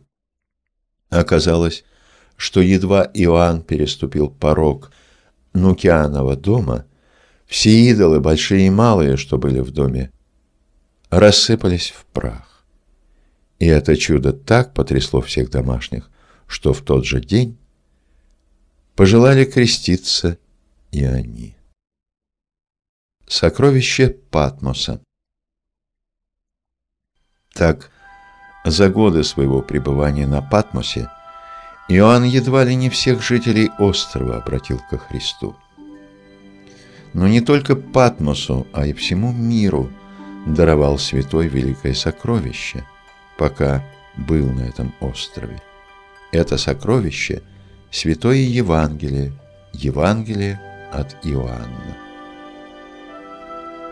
Однажды, заповедав всем христианам Патмоса поститься, он взял с собой Прохора и ушел из города на далекое расстояние. Взойдя на высокую гору, Иоанн пробыл в молитве три дня. После третьего дня загремел великий гром, гора затряслась, Прохор от страха упал на землю. Обернувшись к нему, Иоанн поднял его, посадил по правую руку от себя и сказал, «Пиши то, что услышишь из уст моих». И, воздев очи к небу, снова молился, а после молитвы стал говорить. Вначале было Слово, и Слово было у Бога, и Слово было Бог. Это были первые слова его Евангелия, благой вести о Христе, Сыне Божьем. Пасхальную ночь именно эти слова звучат во всех православных храмах на разных языках, гремят по всему миру. Так, со слов Иоанна, было записано рукою Прохора и все Евангелие. Сойдя с горы, апостол велел Прохору переписать все, что он записал, чтобы переписанное оставить христианам Патмоса. На Патмосе написал святой Иоанн Богослов и другую книгу «Откровение» или «Апокалипсис», книгу о последних судьбах мира, о страшном суде. Предание рассказывает, что однажды он ушел с Прохором в пещеру и провел там с ним вдвоем в молитве десять дней.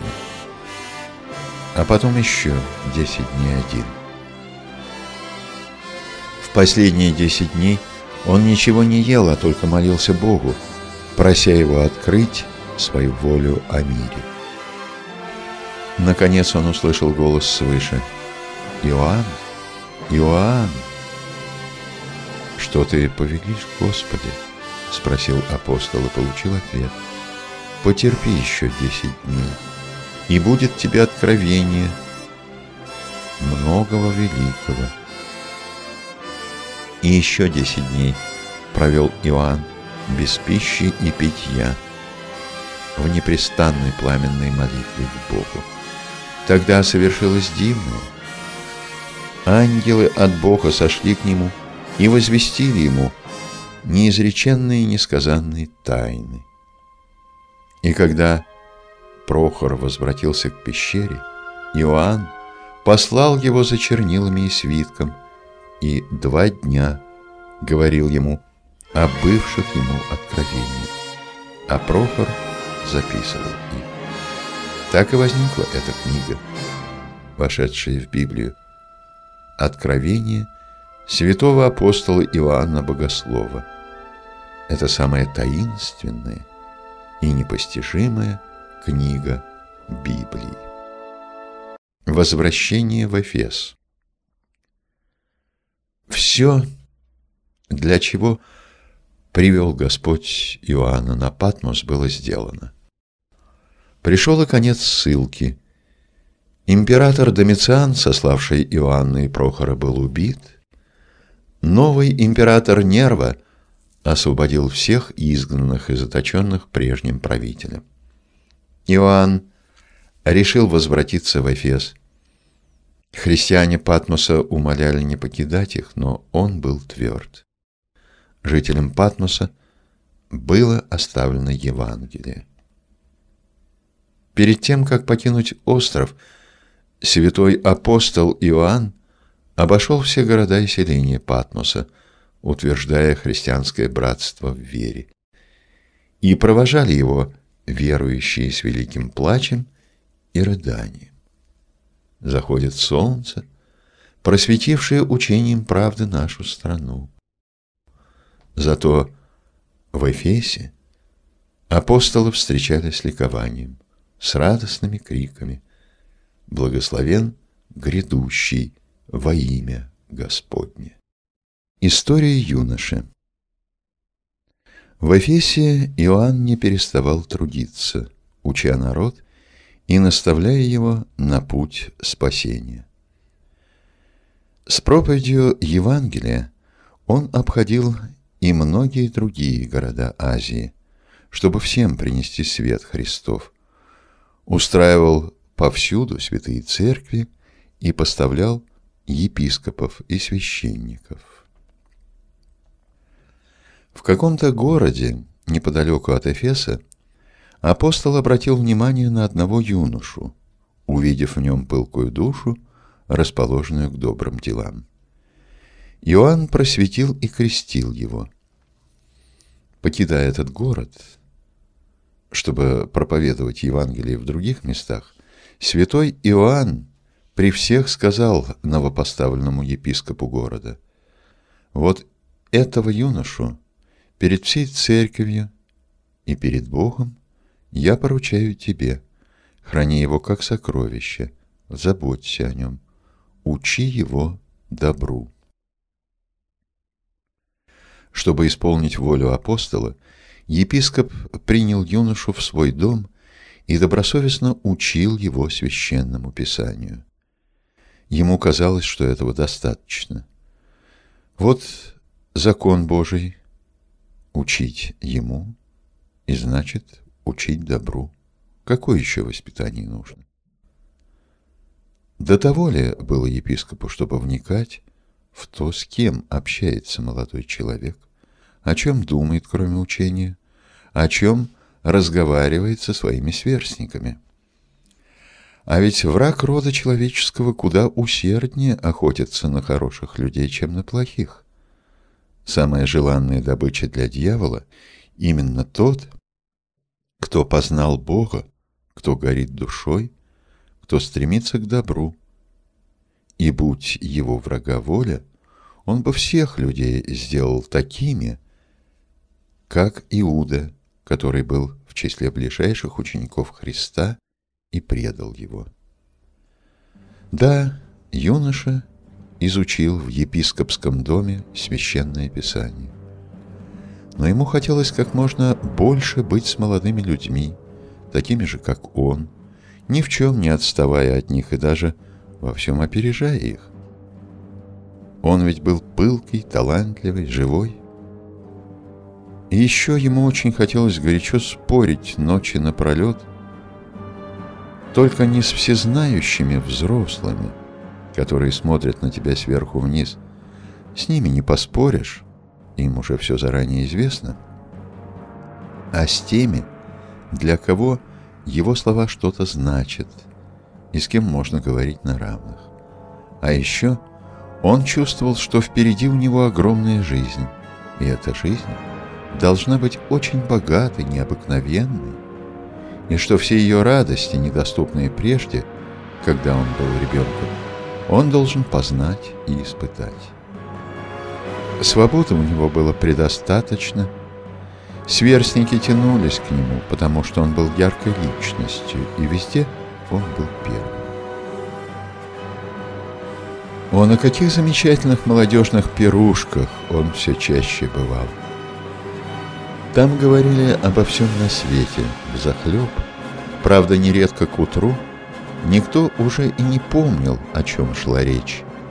И часто все кончалось безобразным пьянством, Но и это было потрясающе интересно. Это была настоящая взрослая жизнь. И на следующий день, придя в себя, юноши с удовольствием и гордостью рассказывали друг другу о том, до какого беспамятства они напились и что вытворяли пьяным. А потом был первый ночной грабеж. Все это казалось захватывающей игрой, притом игрой не на жизнь, а на смерть. Если бы их поймали, схватили, они дорого поплатились бы. Но все обошлось и они были счастливы, и тут же устроили такую пирушку, какой еще и не бывало. А на утро он понял, что они сделали. Теперь все, чему учил его святой Иоанн, а потом епископ и священное писание, все это было так далеко, так недоступно. Это была другая жизнь. А он был теперь вор и грабитель. Уж если быть грабителем, то великим. И юноша стал атаманом разбойников. Так породистый мощный конь, закусив у дела, вдруг сворачивает с прямой дороги и неудержимо несется в пропасть. Так был потерян для церкви тот, которого как сокровище – предал апостол Иоанн на сохранение епископу. Прошло время. Апостол Иоанн вновь пришел в тот город. Он призвал епископа и сказал ему, «Возврати мне сокровища, которые я и Христос верили тебе на сохранение, чему свидетельницей церковь, которой ты управляешь. Епископ перепугался, думая, что кто-нибудь наговорил на него святому, будто он похитил какие-то деньги. «Какое сокровище?» — спросил он. «Я требую у тебя юношу, которого вручил тебе при всех, для того, чтобы ты научил его страху Божию. Требую душу брата». Юноша умер Застонав из глубины сердца, отвечал епископ. Как умер? Какой смертью? Умер для Бога, продолжал епископ. Он законченный негодяй, хуже того, разбойник, хуже того, гроза всей округи. Он уже не в церкви, а на горе со своей шайкой головорезов. Услышав это, Апостол в горести растерзал одежды свои и с плачем, ударяя себя по голове, восклицал. «Хорошего же стража оставил я душе брата. Так ли подобало тебе хранить душу его? Подайте мне скорее коня и проводника». И едва к нему подвели коня, поскакал в горы. Здесь была застава разбойников. Апостола схватили. Он не пытался убежать, отпроситься на волю. «Я затем и пришел», — вскричал он, — «чтобы быть схваченным вами. Ведите меня к своему предводителю. Дело о жизни и смерти». Вооруженный предводитель стоял, ожидая, когда к нему подведут пленника, и вдруг узнал апостола. Его охватил такой ужас и стыд, что он бросился бежать прочь, а святой, забыв свою старость, погнался за ним, что было мочи с воплем. «Дитя, зачем бежишь ты от меня, своего отца, старого, дряхлого, безоружного? Пожалей меня, сынок. Не бойся, еще есть тебе надежда на жизнь. Я отвечу Христу за тебя, если нужно и смерть за тебя приму. Как Господь принял ее за всех нас. И душу мою отдам за душу твою, остановись. Поверь, Христос послал меня. Разбойник замер. Весь сжавшись, он стоял как окаменелый, не смея даже повернуть головы. потом обернулся, не поднимая глаз, ничего не видя, и очутился в объятиях старца. Иоанн целовал его лицо и руки, обливая их слезами, и, прижимая к своей груди трясущегося от рыданий разбойника, говорил слова любви и веры. Вместе возвратились они в город. А потом последовали долгие месяцы покаяния, трудов, с которыми вновь рождалась для жизни погибшая была душа. Труды эти несли они оба, плечом к плечу, старец и молодой человек. Как и обещал Иоанн, разделял с кающимся строгость покаяния. Сам с ним постился и молился, и, отложив все свои прочие дела, не покидал этого города. Не покидал до тех пор, пока не смог, наконец, благословив свое духовное чадо, сказать ему «Иди в мир, дитя мое». Своими слезами, раскаянием, трудами и постом ты укрепил свою душу. И теперь ты не дитя, а воистину взрослый мужчина перед Богом. Ты можешь идти к Царствию Небесному, не опираясь постоянно на своего старого и немощного отца. Где бы я ни был, любовь моя пребудет с тобою неотлучно, и уже ничто не должно отлучить тебя от Божией любви. Недейственный яд. Один христианин впал в жестокую нужду. Не только жить ему было не на что, но многим он был должен, и отдать было нечем. А те, кому он был должен, совсем замучили его, требуя вернуть долги. Никакой надежды заработать денег у него не осталось, и он впал в полное отчаяние. Нет греха тяжелее, ведь и окаянный Иуда, если бы не отчаялся, мог бы еще покаяться за свой страшный грех и получить прощение от Всеблагого Господа, но вместо того он пошел и удавился. Вот и тот бедняк, хоть и был он христианином, в отчаянии своем ничего не смог придумать, кроме как покончить жизнь самоубийством. А за помощью в этом страшном замысле он обратился к волхву Иудею, попросил у него смертельного яда. Яд я беру для себя самого, а в уплату ты возьмешь все то немногое, что останется после моей смерти, домишко и все, что в нем еще есть. Иудей, враг христиан и друг бесов, исполнил просьбу и дал ему смертоносного питья.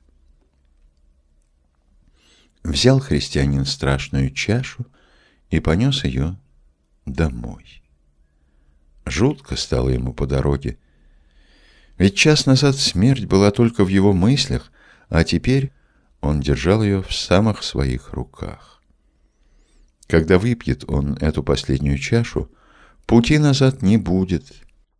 Навек погибнет и тело его, и душа. От ужаса он не мог идти дальше.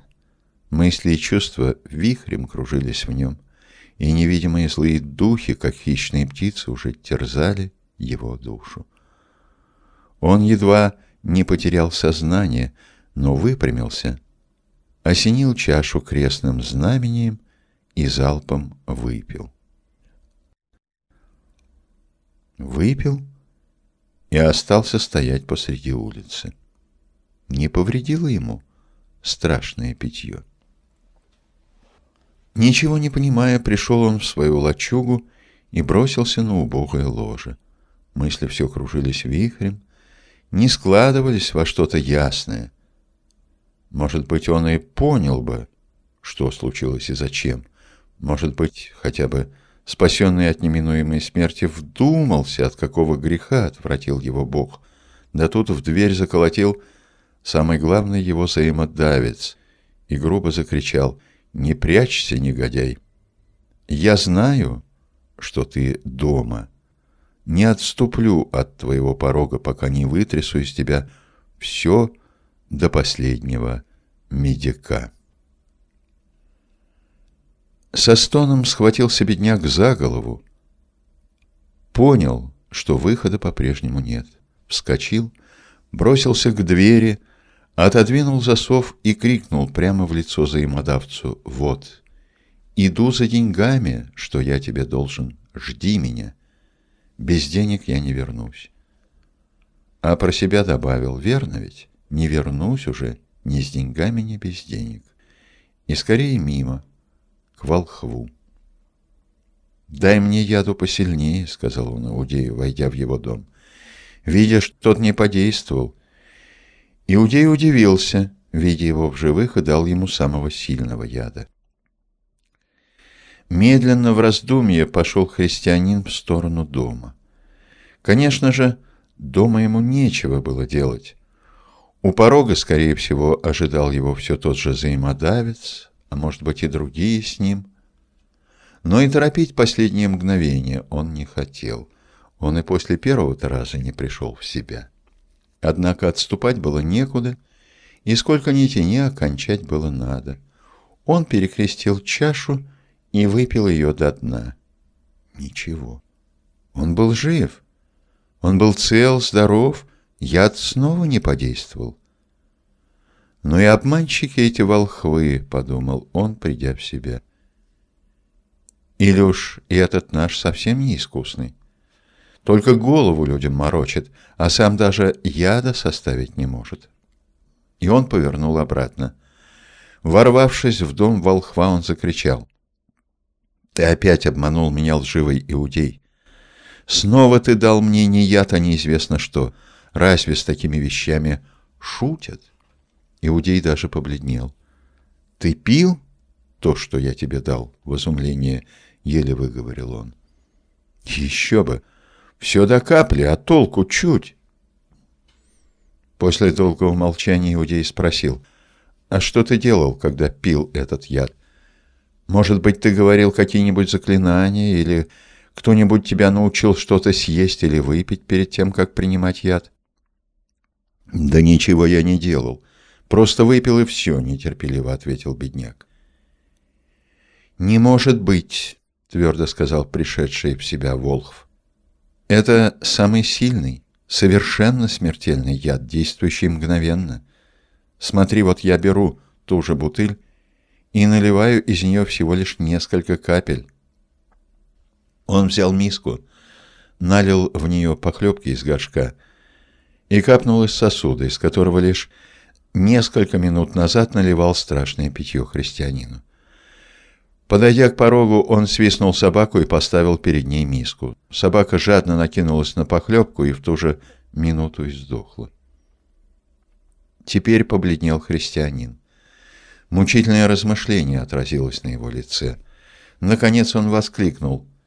«Нет, я ничего не делал с этой чашей. Я только осенил ее крестным знамением».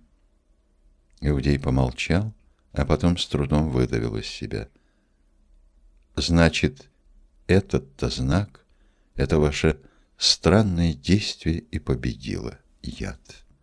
Другого объяснения нет. Оба почувствовали себя совершенно обессиленными и опустились на скамью. А потом Иудей сказал, «Веди меня к вашему главному, к начальнику христиан. Я должен все узнать от него». Вместе пришли они к Иоанну и рассказали всю историю, ничего не утаив, а Иоанн молча слушал их. «Объясни же мне, в чем сила вашего страшного знака? Почему знак креста побеждает все мои чары и прогоняет смерть?» — заключил свою речь Иудей. «Ты ведь знаешь, чей именно крест?» орудие чьей позорной казни изображает наше крестное знамение? — спросил его Иоанн. — Да, — с огромным напряжением отвечал Иудей, — вашего учителя Иисуса, который и сам себя объявил Сыном Божиим, Христом Спасителем, но учил тому, чего нет в Писании, чему не учил нас Отец наш Моисей. Он смущал своими странными учениями народ Божий, поэтому его и казнили позорной казнью на кресте. С глубокой любовью и лаской, глядя прямо в глаза ему, Иоанн начал свой рассказ. Слова Иоанна взяты из его Евангелия и посланий. Закон дан через Моисея, а благодать и истина произошли через Иисуса Христа, Сына Божия. Любовь Божия к нам открылась в том, что Бог послал в мир единородного Сына Своего, чтобы мы получили жизнь через Него. В том любовь, что не мы возлюбили Бога, но Он возлюбил нас и послал Сына Своего в умилостивление за грехи наши. Он был свет истины, который просвещает всякого человека, приходящего в мир. Он в мире был тот, через кого мир начал быть, и мир его не познал. Он пришел к своим, к своему народу, и свои его не приняли. А тем, которые приняли его, верующим во имя его, он дал власть быть детьми Божиими. Вот откуда великая власть, которую имеет крестное знамение, знак нашей веры в величайшую любовь Божию. Господь Иисус Христос умер за нас, а выше этой любви не бывает. Долго длился рассказ Иоанна. Он рассказывал о том, как воплотился Господь Иисус Христос, как учил Он людей и дал им главную заповедь – любить друг друга той же любовью, которой Он сам возлюбил людей. О Его чудесах, тех, которые Иоанн видел своими глазами о его добровольном страдании и смерти, о его воскресении, которым он победил смерть, о том, как являлся он, воскресший своим ученикам, а потом вознесся на небо к Богу Отцу, и о том, как в день Пятидесятницы Дух Святой осенил учеников, научил их всякой премудрости, и так родилась Церковь, и как она распространилась по миру, и о том, кто же такие христиане и какую силу дает им Бог. Я рассказал тебе о том, что было от начала, что мы слышали, что видели своими глазами, что рассматривали и что осязали руки наши, завершил свою речь Иоанн. Мы, ученики его, видели и свидетельствуем, что Отец послал Сына Спасителем миру. Кто исповедует, что Иисус есть Сын Божий, в том пребывает Бог, и Он в Боге. И мы познали любовь, которую имеет к нам Бог, и уверовали в нее.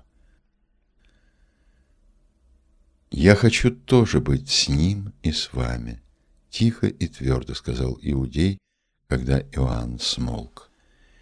«И если, как ты говоришь, в крещении верующий умирает с Христом и воскресает вместе с Ним, я хочу так умереть и воскреснуть для новой жизни с Ним».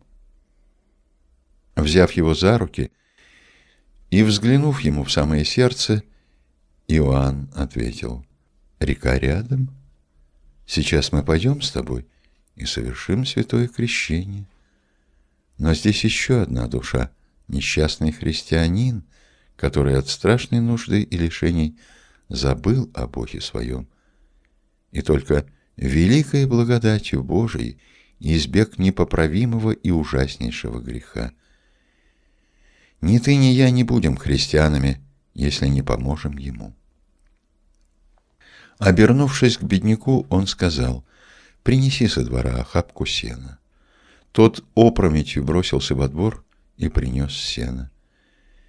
Иоанн перекрестил охапку и вознес к Богу молитву. «Боже милосердный, Господи Иисусе Христе, яви силу креста Твоего на этом сене, и во спасение этих рабов Твоих обрати его в злато». И тотчас куча сена обратилась в кучу золота. Этого хватит тебе, чтобы заплатить долги, и чтобы больше не впадать в новые, а в достатке содержать свой дом. «Иди же и впредь не греши», — сказал Иоанн бедняку, и, взяв Иудея за руку, повел его к реке креститься. Кончина он дожил до глубокой старости. Последние годы он провел в Эфесе, где жил в доме Домна, некогда воскрешенного им. Диаскор, отец Домна, давно умер. Прохор тоже был с ним. Он был стар, очень стар. У него уже не было сил обходить окрестности Эфеса, тем более путешествовать в соседние города Азии. К нему приходили епископы, и он поучал их. Он желал, чтобы они непрестанно учили народ слову Евангелия, а более всего первой главной евангельской заповеди – заповеди любви. Когда силы совсем оставили его, ученики на руках приносили его в церковь. Он уже не мог долго говорить, не мог произносить проповеди и поучений, а только все время говорил «Детки, любите друг друга». Давно уже скончались все апостолы, все, кто видел живого Господа, а он, любимейший ученик Христа, все еще оставался на этой земле. Люди считали за счастье увидеть его, коснуться его руки – а он повторял и всем приходящим, детки, любите друг друга. Почему ты повторяешь одно и то же? Осмелились однажды спросить его ученики. Апостол отвечал, это главная заповедь.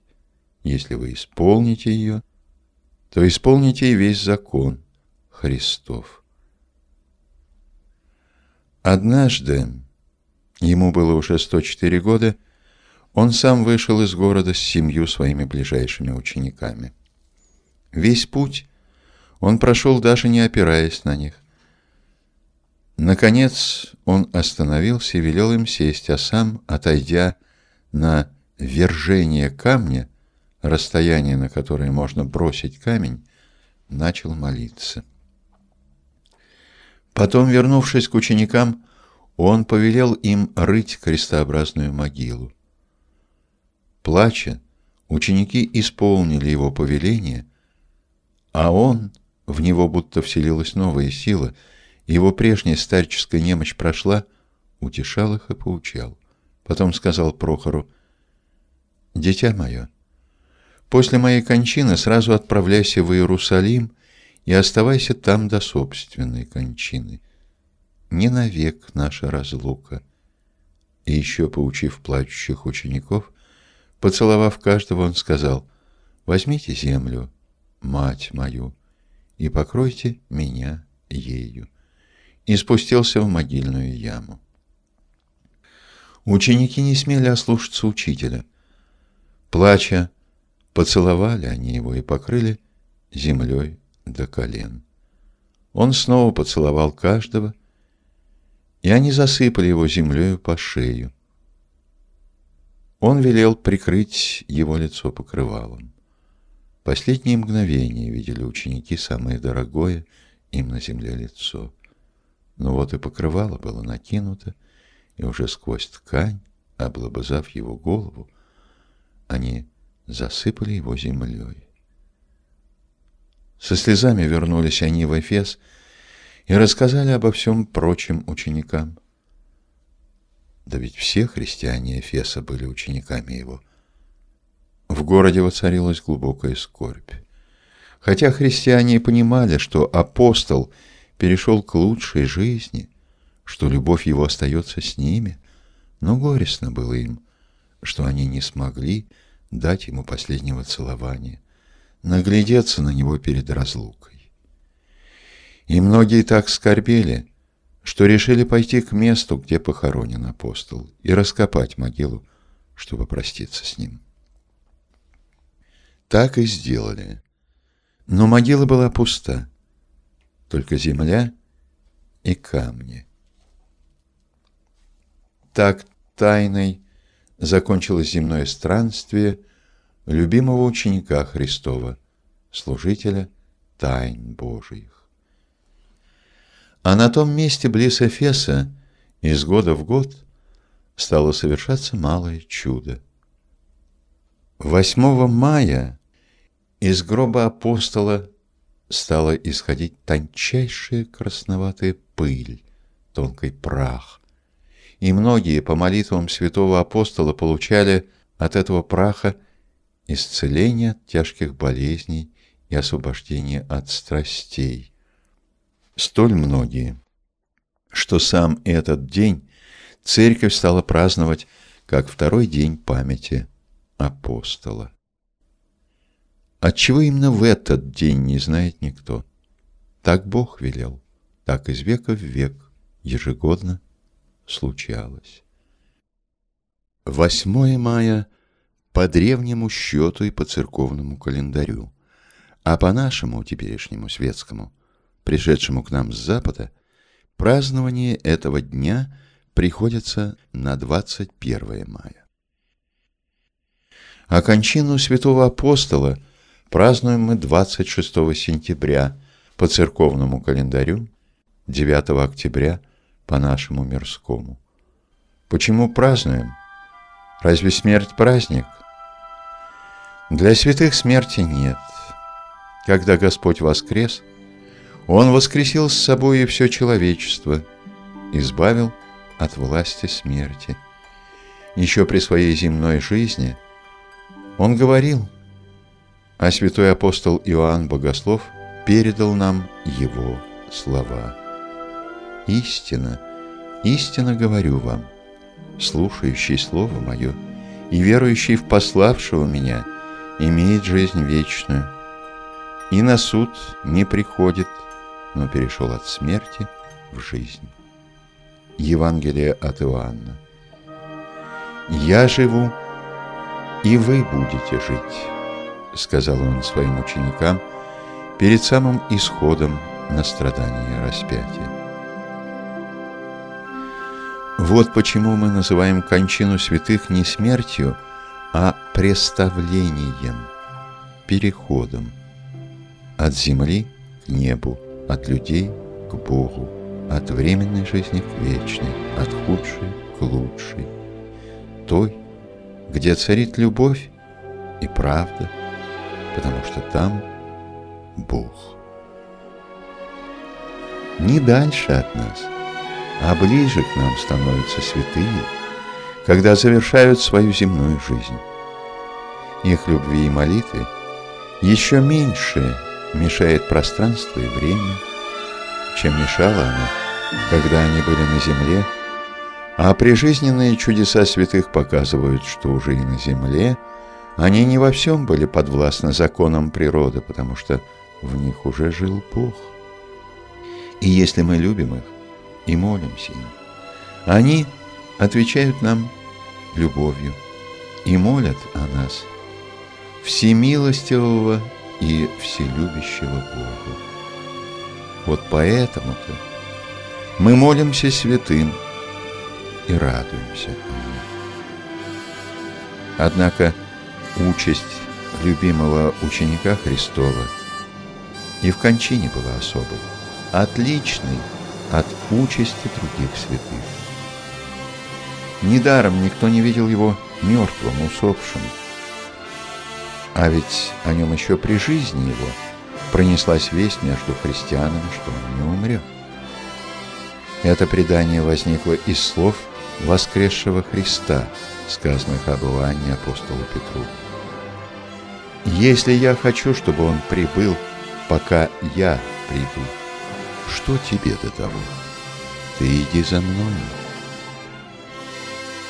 Сам Иоанн в последней главе своего Евангелия передал нам эти слова Христа и то, как их поняли ученики, но подчеркнул, Иисус не сказал ему, что не умрет, а только сказал, если я хочу, чтобы он прибыл, пока я приду, что тебе того?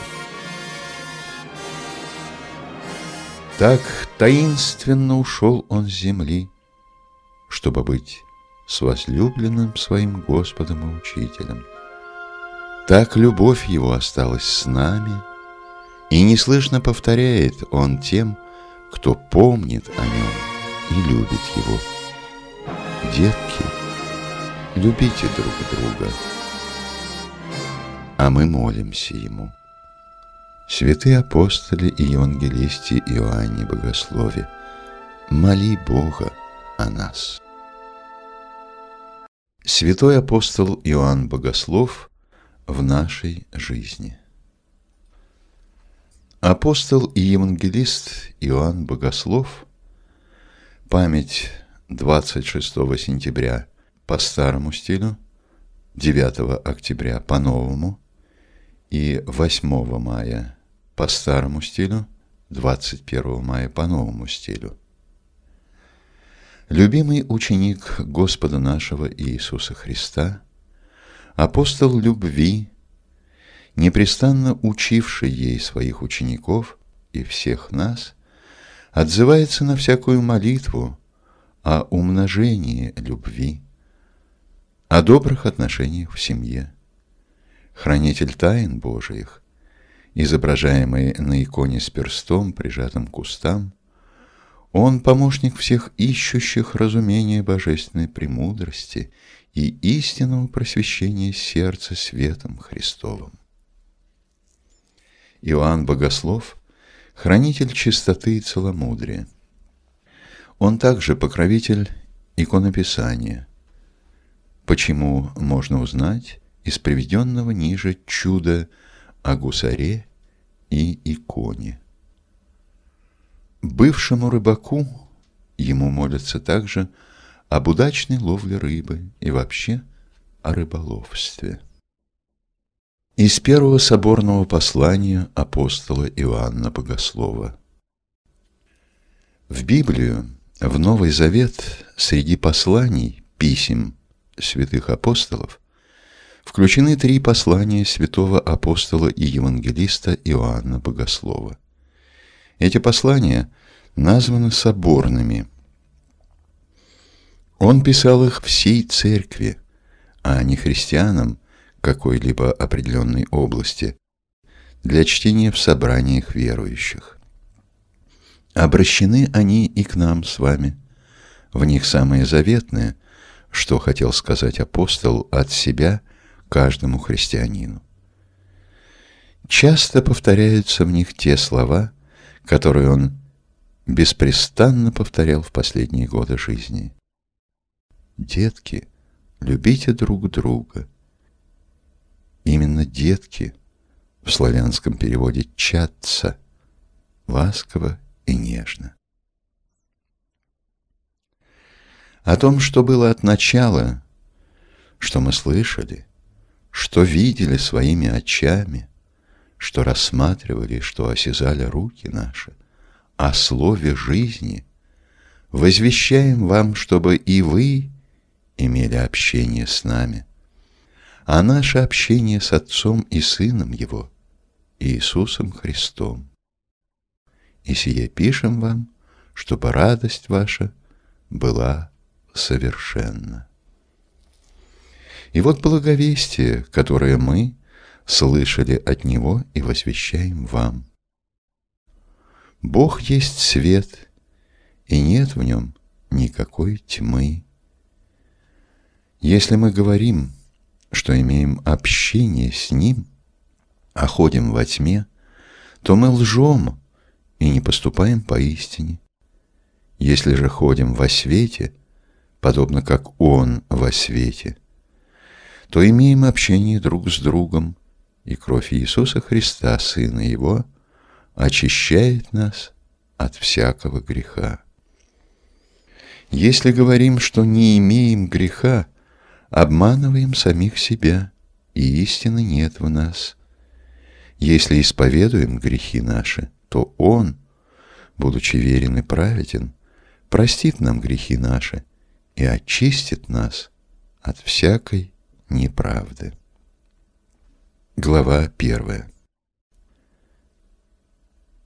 Тьма проходит, и истинный свет уже светит.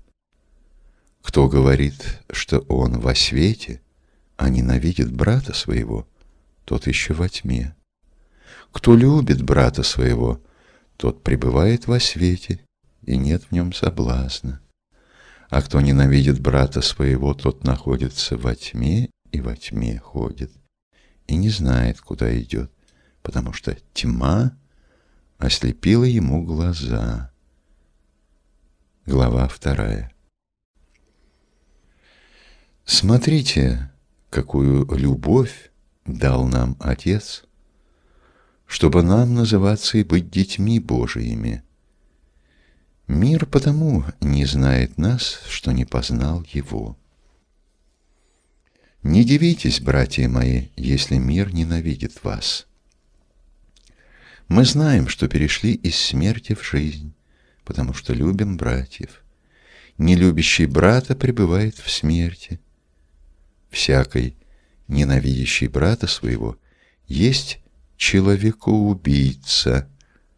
А вы знаете, что никакой человекоубийца не имеет жизни вечной в нем – пребывающий.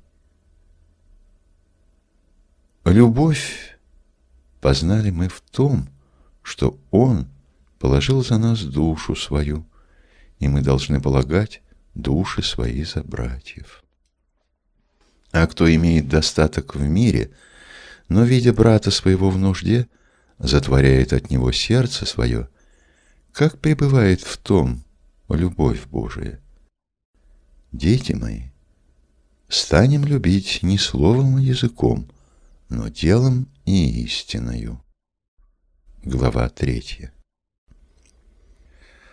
Возлюбленные, будем любить друг друга, потому что любовь от Бога, и всякий любящий рожден от Бога и знает Бога. Кто не любит, тот не познал Бога, потому что Бог есть любовь. Любовь Божия к нам открылась в том, что Бог послал в мир единородного Сына Своего, чтобы мы получили жизнь через Него. В том любовь, что не мы возлюбили Бога, но Он возлюбил нас и послал Сына Своего в умилостивление за грехи наши.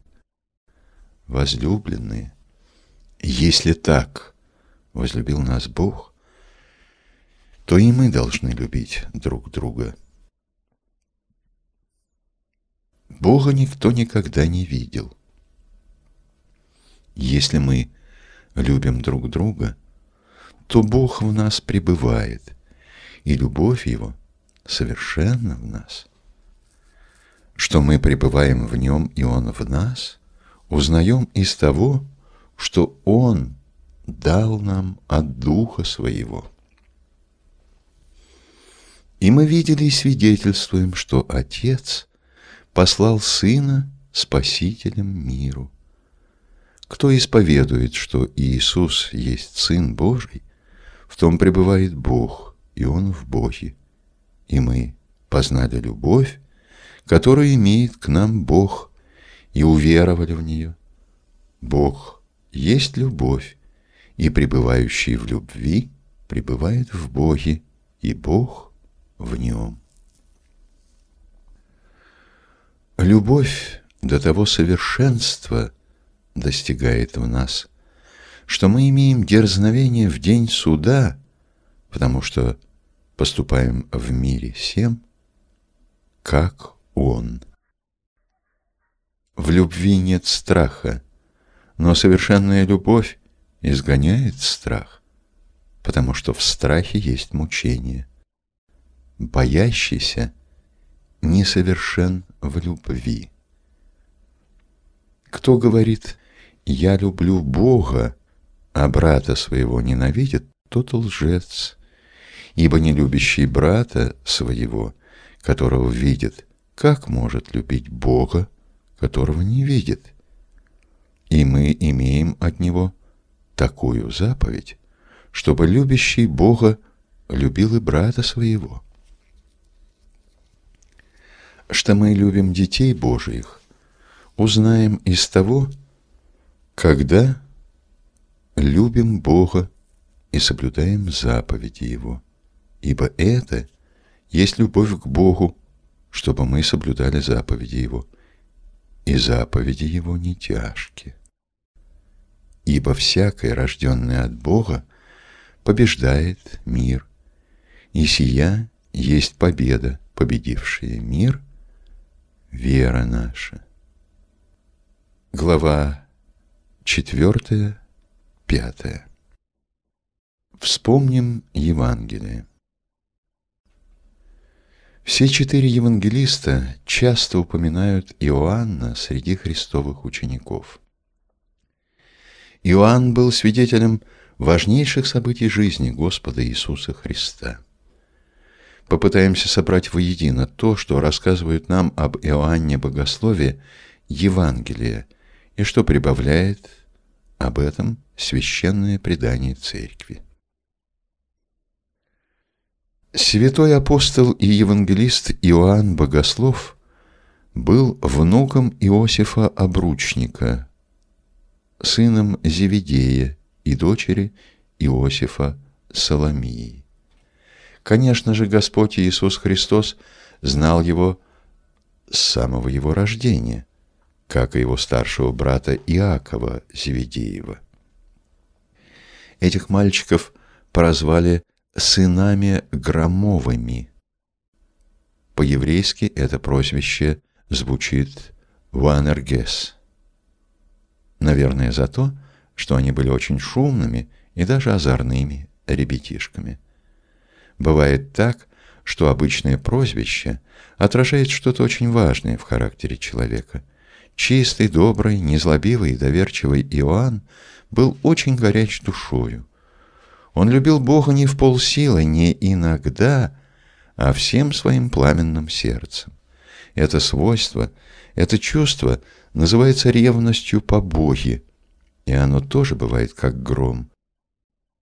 Тихий и кроткий человек, когда коснется дела святыни, славы Божией, весь преисполняется огня, не боится ничего и никого, и готов всю душу положить за Бога, и появляется в нем сила, подобная грозе.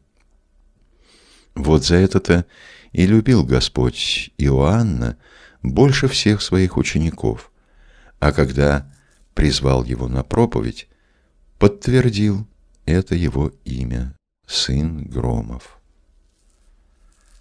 Прошли годы, и Иоанново прозвище обрело другой глубокий смысл. Его богословие прозвучало во всем мире и наполнило всю землю, как наполняют ее раскаты грома. Но было это уже много лет спустя, после того, как Господь призвал юного Иоанна от рыбацких сетей на проповедь Евангелия. Зеведей с женой Соломией и детьми жили в селении Вифсаида на берегу Галилейского моря.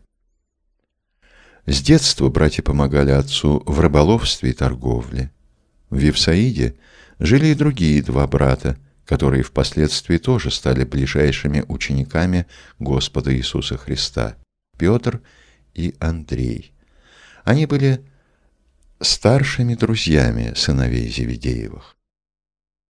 Когда вышел на проповедь святой Иоанн Креститель, все они охотно сделались его учениками, хотя еще не оставляли ни своего дома, ни обычных занятий. Иоанн Креститель говорил приходящим к нему, «Я крещу вас водою, но идет сильнейший меня, у которого я недостоин развязать ремень обуви. Он будет крестить вас Духом Святым и огнем». На другой день, увидев идущего к нему Иисуса, Иоанн сказал, «Вот Агнец Божий, который берет на себя грех мира. О нем я и сказал, за мной идет муж, который стал впереди меня, потому что он был прежде меня». Рядом с ним стояли Андрей и Иоанн. Услышав эти слова, они тотчас пошли за Иисусом и пробыли в его доме весь тот день. Иоанн Богослов на всю жизнь запомнил обстоятельства того дня и в своем Евангелии даже отметил, что было около десятого часа. Но в эту пору Господь Иисус Христос еще не начал своего общественного служения, а Иаков с Иоанном оставались учениками Иоанна Крестителя. Три дня спустя Иоанн стал свидетелем первого чуда, совершенного Иисусом – превращение воды в вино на браке в Кане Галилейской. Так положил Иисус начало чудесам в Кане Галилейской и явил славу свою, и уверовали в Него ученики Его, пишет в своем Евангелии Иоанн. Уверовали и стали учениками обоих, и великого пророка Иоанна Крестителя, и Господа Иисуса Христа. Но недолго оставалось им быть учениками Иоанна Крестителя. Вскоре тот был взят под стражу и заключен в темницу за то, что он обличал грехи царя. А Господь Иисус Христос стал проповедовать по берегам Галилейского моря, говоря, «Покайтесь, ибо приблизилось Царство Небесное».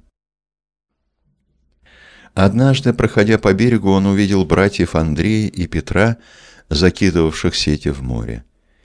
«Идите за мною, «И я сделаю вас ловцами человеков», — сказал он. И братья, оставив сети, тотчас последовали за ним.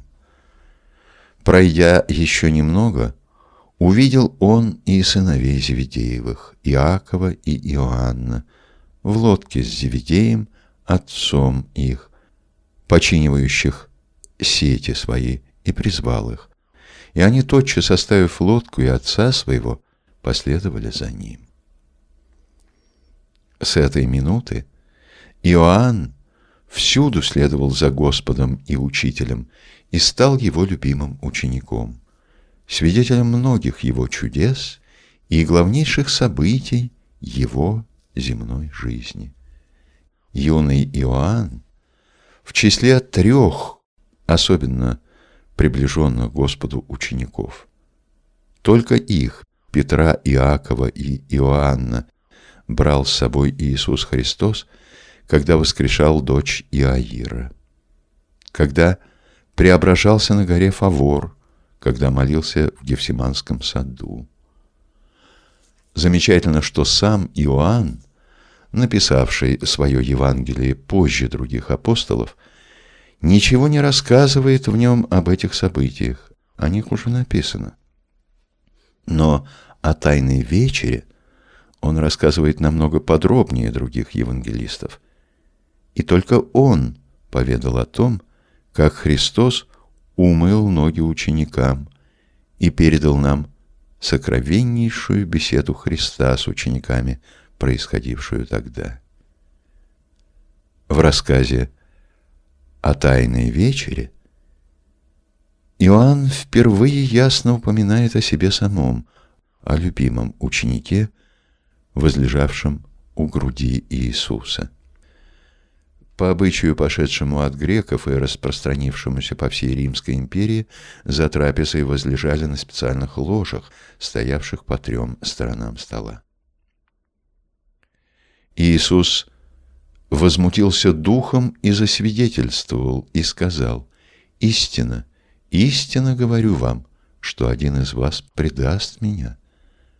Тогда ученики озирались друг на друга, недоумевая, о ком он говорит. Один же из учеников его, которого любил Иисус, возлежал у груди Иисуса. Ему Симон Петр сделал знак, чтобы спросил, кто это, о котором говорит. Он, припав к груди Иисуса, сказал ему, «Господи, кто это?» Иисус отвечал, «Тот, кому я, обмакнув кусок хлеба, подам». Солили тогда пищу не сухой солью, как мы обмакивали в особый пряный рассол. И, обмакнув кусок, подал Иуде Симонову Искариоту.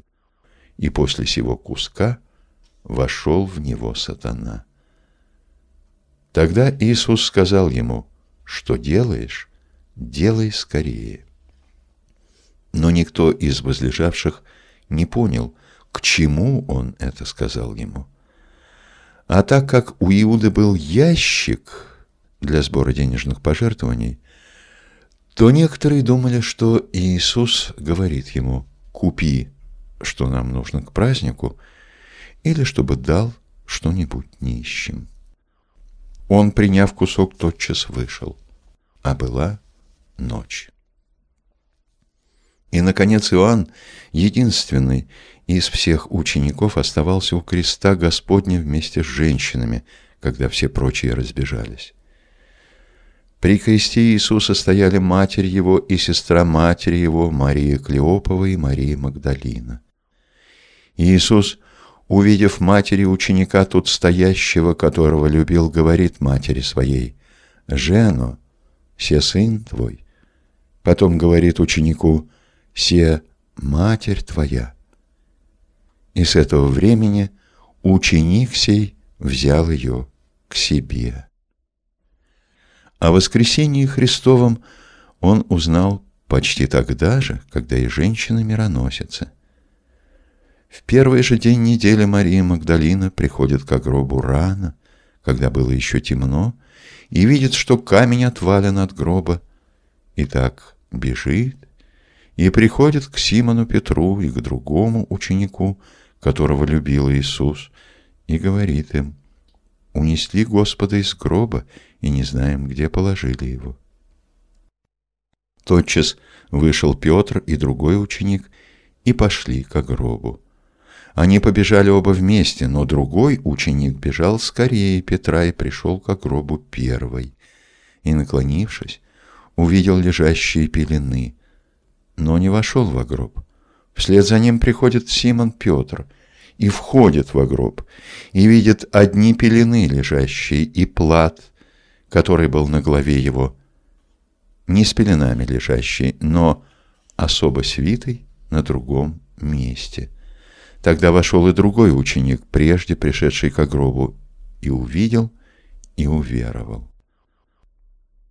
Таинственное события последней главы Евангелия Иоанна. Всю ночь ловили рыбу на Галилейском озере Петр, сыновья Зеведеева и еще четверо учеников Христовых, и не поймали ничего. А когда уже настало утро, Иисус стоял на берегу, но ученики не узнали, что это Иисус. Иисус говорит им, «Дети, есть ли у вас какая пища?» Они отвечали ему «нет». Он же сказал им «закиньте сеть по правую сторону лодки и поймаете». Они закинули и уже не могли вытащить сети от множества рыбы. Тогда ученик, которого любил Иисус, говорит Петру «это Господь». Симон же Петр, услышав, что это Господь, опоясался одеждою, ибо он был наг, и бросился в море, а другие ученики приплыли в лодки, ибо недалеко были от земли, локтей около двухсот, таща сеть с рыбою. Когда же вышли на землю, видят разложенный огонь, и на нем лежащую рыбу и хлеб. Иисус говорит им, принесите рыбы, которую вы теперь поймали. Симон Петр пошел и вытащил на землю сеть, наполненную большими рыбами, которых было 153. И при таком множестве не прорвалась сеть. Иисус говорит им, «Придите, обедайте». Из учеников же никто не смел спросить его, «Кто ты?», зная, что это Господь. Иисус приходит, берет хлеб и дает им, также и рыбу. Это уже в третий раз явился Иисус ученикам своим по воскресении своем из мертвых. А потом, после краткой беседы с Петром у костра, Господь сказал ему, «Иди за мною». Но Петр, обернувшись на Иоанна, спросил Иисуса, «Господи, а он что?» «Если я хочу, чтобы он прибыл, пока приду, что тебе до того?» «Ты иди за мною», — отвечал ему воскресший Господь. И пронеслось это слово между братьями, что ученик тот не умрет. Но Иисус не сказал ему, что не умрет, но если я хочу, чтобы он прибыл, пока приду, что тебе до того? Пишет Иоанн и заканчивает свое Евангелие свидетельством, как золотую печать ставит. Сей ученик и свидетельствует об этом, и написал это, и знаем, что истинно свидетельство Его. Многое другое сотворил Иисус. Но если бы писать о том подробно, то, думаю, и самому миру не вместить бы написанных книг. Аминь. Чудо о гусаре и иконе.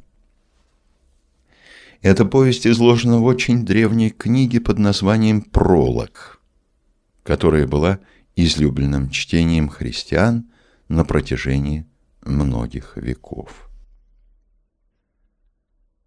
В маленьком городке неподалеку от Константинополя жил мальчик-сирота, который тем только и поддерживал свою жизнь, что нанимался пасти гусей. Так его все и называли гусарь, гусопас, а имени его никто и не помнил. На вратах городка была икона святого апостола Иоанна Богослова. Вспомним, что город – это и есть огороженное пространство, и все древние города, даже маленькие, имели городскую стену и ворота. Мальчик ежедневно выгонял своих гусей за городскую стену и пас их неподалеку от городских ворот. При этом он больше всего любил смотреть на прекрасный образ святого и даже пытался перерисовать его пальцем или палочкой на песке. Так мил ему был образ святого, что он стал молиться. «Господи, дай мне научиться переписать этот образ. Я всей душой желаю этого». Но у него ничего не получалось.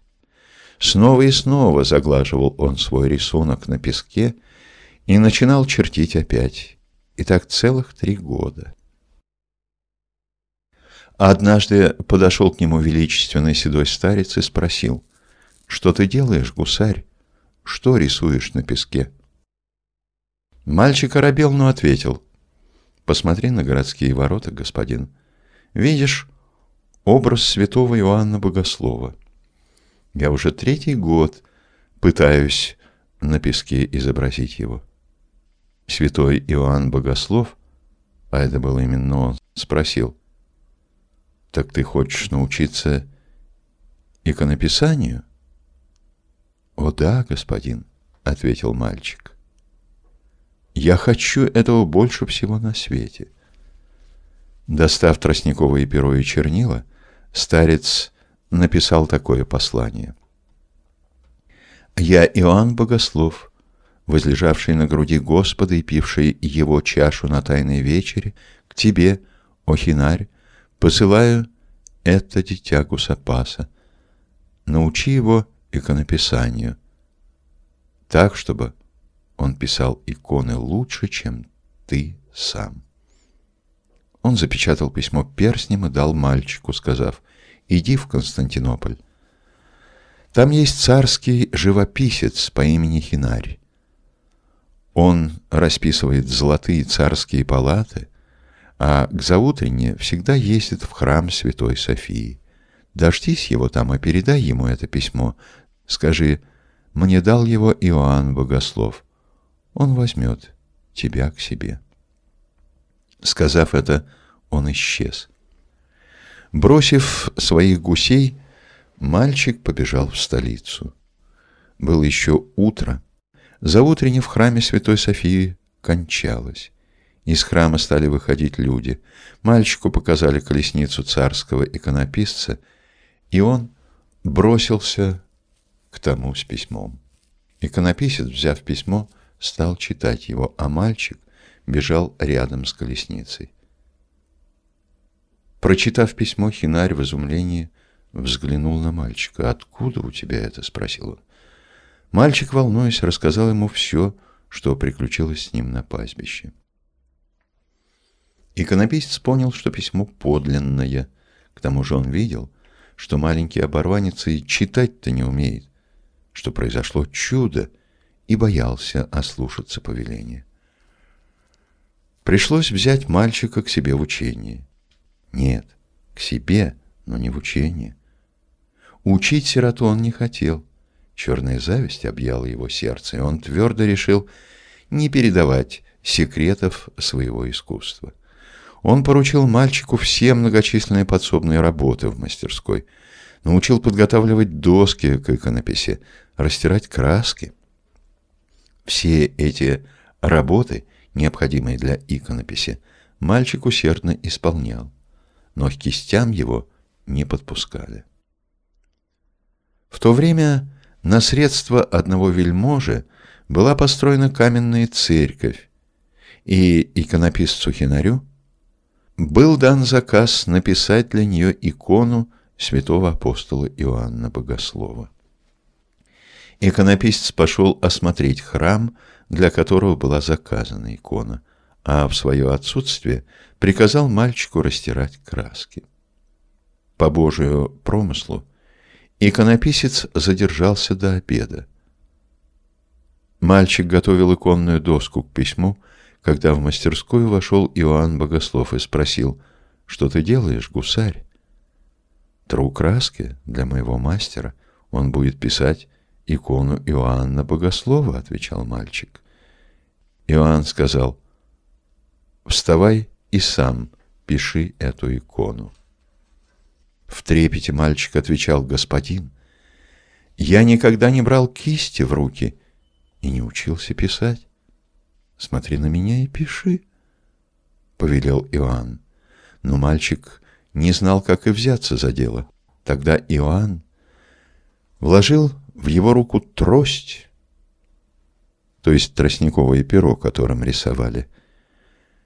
И так рукой у мальчика начертал на подготовленной доске свой образ, а затем также рукой у мальчика стал слой за слоем покрывать его красками. Когда икона была написана, Иоанн вышел. «И просветися палата от иконы, а от солнца», — рассказывает древний повествователь. А гусарь заплакал, в ужасе думая о том, какое наказание ожидает его от иконописца за своеволие. Иконописец, придя, был поражен. Икона была совершеннее всего, что мог он написать. Мгновенно слух о чудесной иконе донесся до царских палат. Царю сказали — у твоего иконописца есть ученик. Он только третьего дня поступил в учение, а вчера уже написал икону Иоанна Богослова, да такую, что вся палата просвещается от нее, как от солнца, и вообразить невозможно. Тотчас царь повелел принести икону. И принесли икону в царские палаты. И объял царя страх от сияния иконы. Придворные судили доредили о происшедшем. Одни говорили, ученик превзошел мастера. Нет, мастер искуснее, возражали другие. Слыша эти споры, царь сказал, «Я справедливо рассужу, кто искуснее. Пусть каждый из них напишет парлу на стене моих палат. А я возьму ястреба и пущу, на которого орла бросится ястреб, обманутый искусством художника, тот и окажется лучшим. Правильно ты рассудил, о царь, согласились придворные. И вот мастер и ученик написали парлу на стенах царевых палат. А все пришли полюбоваться на их работу. Увидев изображение, созданное царским иконописцем, вельможи воскликнули «Нет на всем свете подобного ему!» Но когда подошли к творению ученика, то и вовсе лишились слов. Так оно было прекрасно. А царь, как и задумал, пустил ястреба. Птица мгновенно устремилась к орлу, написанному учеником, и пыталась вступить в бой с изображением. Ученик победил.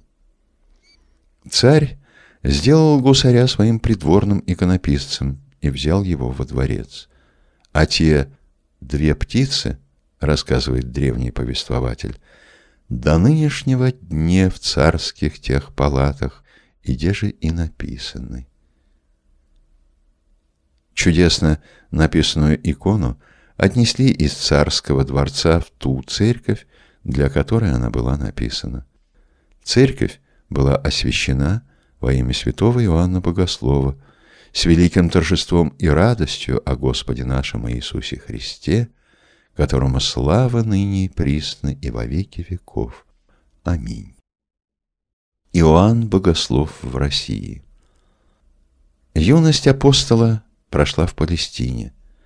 Последние десятилетия его земной жизни в Малой Азии. Но земным веком не заканчивается жизнь святых. Об этом свидетельствуют их чудеса, их любовь с нами, с живущими. На Руси чтили апостолы любви, любимого ученика Христова, и сам он своими чудесами посещал нашу землю уже в первые века после ее крещения. Есть в России место, избранное самим апостолом сотни лет назад. Поразительно, но предание твердо связывает эту историю именно с чудесной иконой Иоанна Богослова, написанной мальчиком-гусарем. Только вот начало этой истории почти затерялось в веках.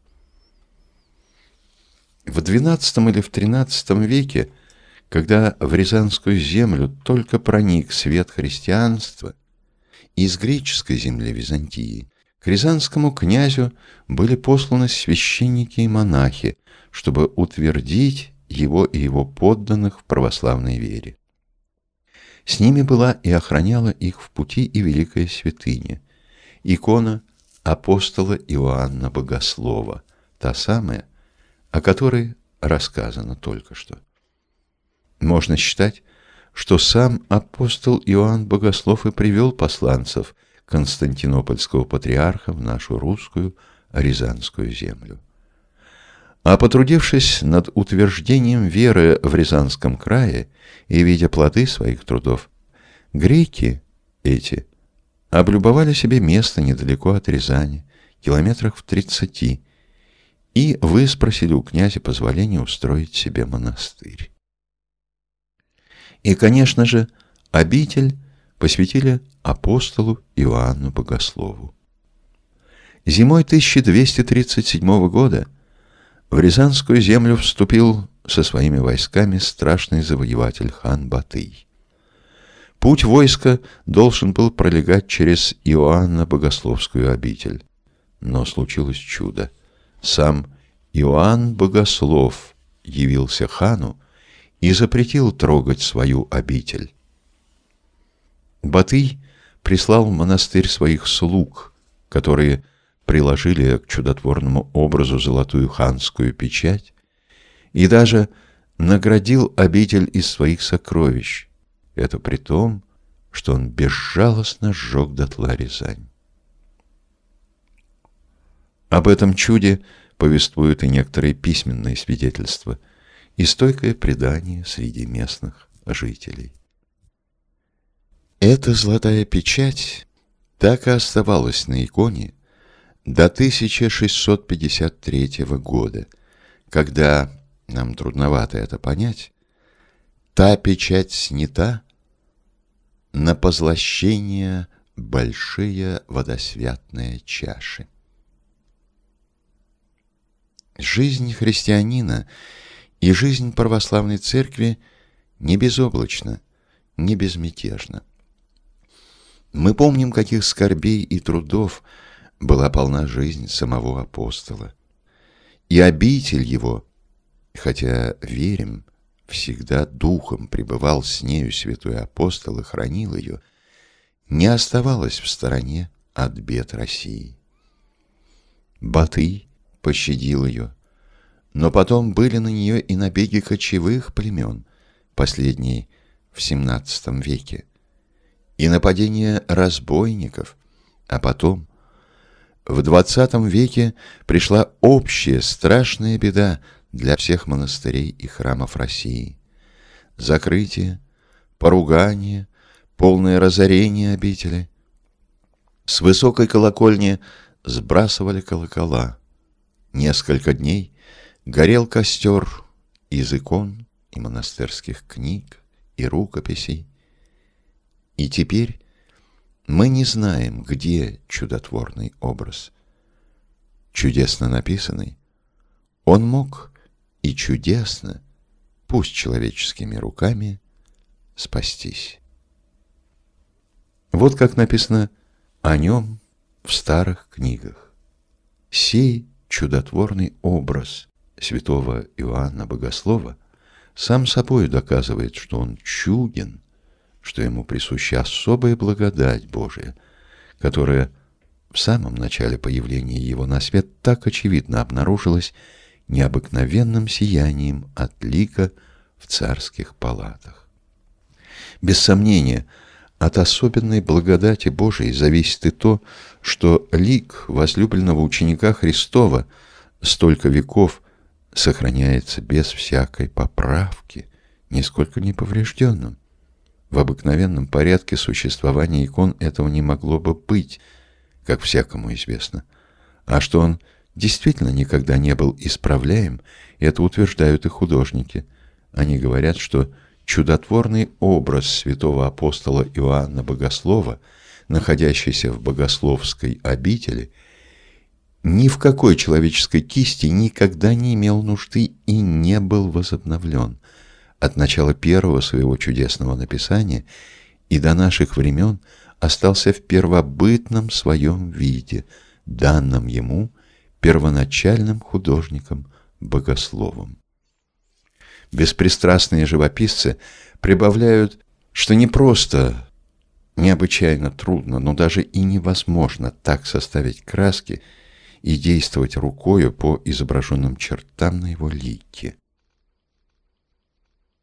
На чудотворной иконе святой изображен с принадлежностью иконописца и книгописца пеналом чернильницей. Это узкий ящичек, который мог уместиться в кармане рясы или мантии. На одном конце такого пенала перегородкой отделялось место для чернил. В нем лежал кусок губки, который пропитывался чернилами. Затем они высыхали, и пенал можно было всегда носить при себе. Для письма губка увлажнялась, и чернила оживали. В конце 1988 года, в год тысячелетия крещения Руси, монастырь был возвращен церкви. Из руин поднимали его монахи. А теперь там и настоящий монашеский уклад жизни, и изумительный порядок и благолепие. И хотя на месте древней чудотворной иконы сейчас чтимый список ее, а сама она пока таится от людей и не найдена. А мы знаем, что много раз в истории церкви великие святыни, казалось бы, безвозвратно утраченные, внезапно возвращались к людям, благословение святого апостола и евангелиста Иоанна Богослова явно из Рима пребывает на месте сем. И если вы полюбите апостол любви, непременно побывайте здесь. Не всякому удастся побывать в Иерусалиме или в Эфесе, или на Патмосе, в главных местах земной жизни любимого ученика Христова, но под Рязань выбраться можно. И апостол Христов не оставит вас без награды. Вы увидите одно из самых прекрасных мест России, получите заряд радости, силы, благодати и любви и великое чувство святыни. Бог вам в помощь. Тропарь, глаз второй. Апостоли Христу Богу возлюбленнее, Ускори избавите люди безответные, Приемлет тебя преподающая, И же падша на перси приемой, Его же моли, богослови, И на лежащую мглу языков разгнати, Прося нам мира и велия милости. Объяснение тропаря. Приемлет тебя преподающая, принимает твою усердную молитву. Еже падша на перси, приемай. Тот, кто принял тебя, припавшим к своей груди, об этом написано в 13 главе Евангелия от Иоанна, и напоминается ниже в этой книге на лежащую мглу, надвинувшуюся тучу, иногда и в тропаре поется на лежащий облак. Языков, язычников и наплеменников. Тропарем называется краткая песнь, в которой прославляются дела Бога или святых Его. Главное песнопение в честь праздника или святого. Гласом называется определенный напев в церковной голосовой музыке. Всего гласов восемь. Услышав и запомнив, как поется тропарь святому Иоанну Богослову, легко будет петь и другие тропари того же второго гласа, например, святому Иоанну Предтече. Часто для удобства пения в напечатанном или написанном тексте тропаря или других церковных песнопений, расставляются черточки-разбивки. Они делят текст на колено строки, на мелодические части.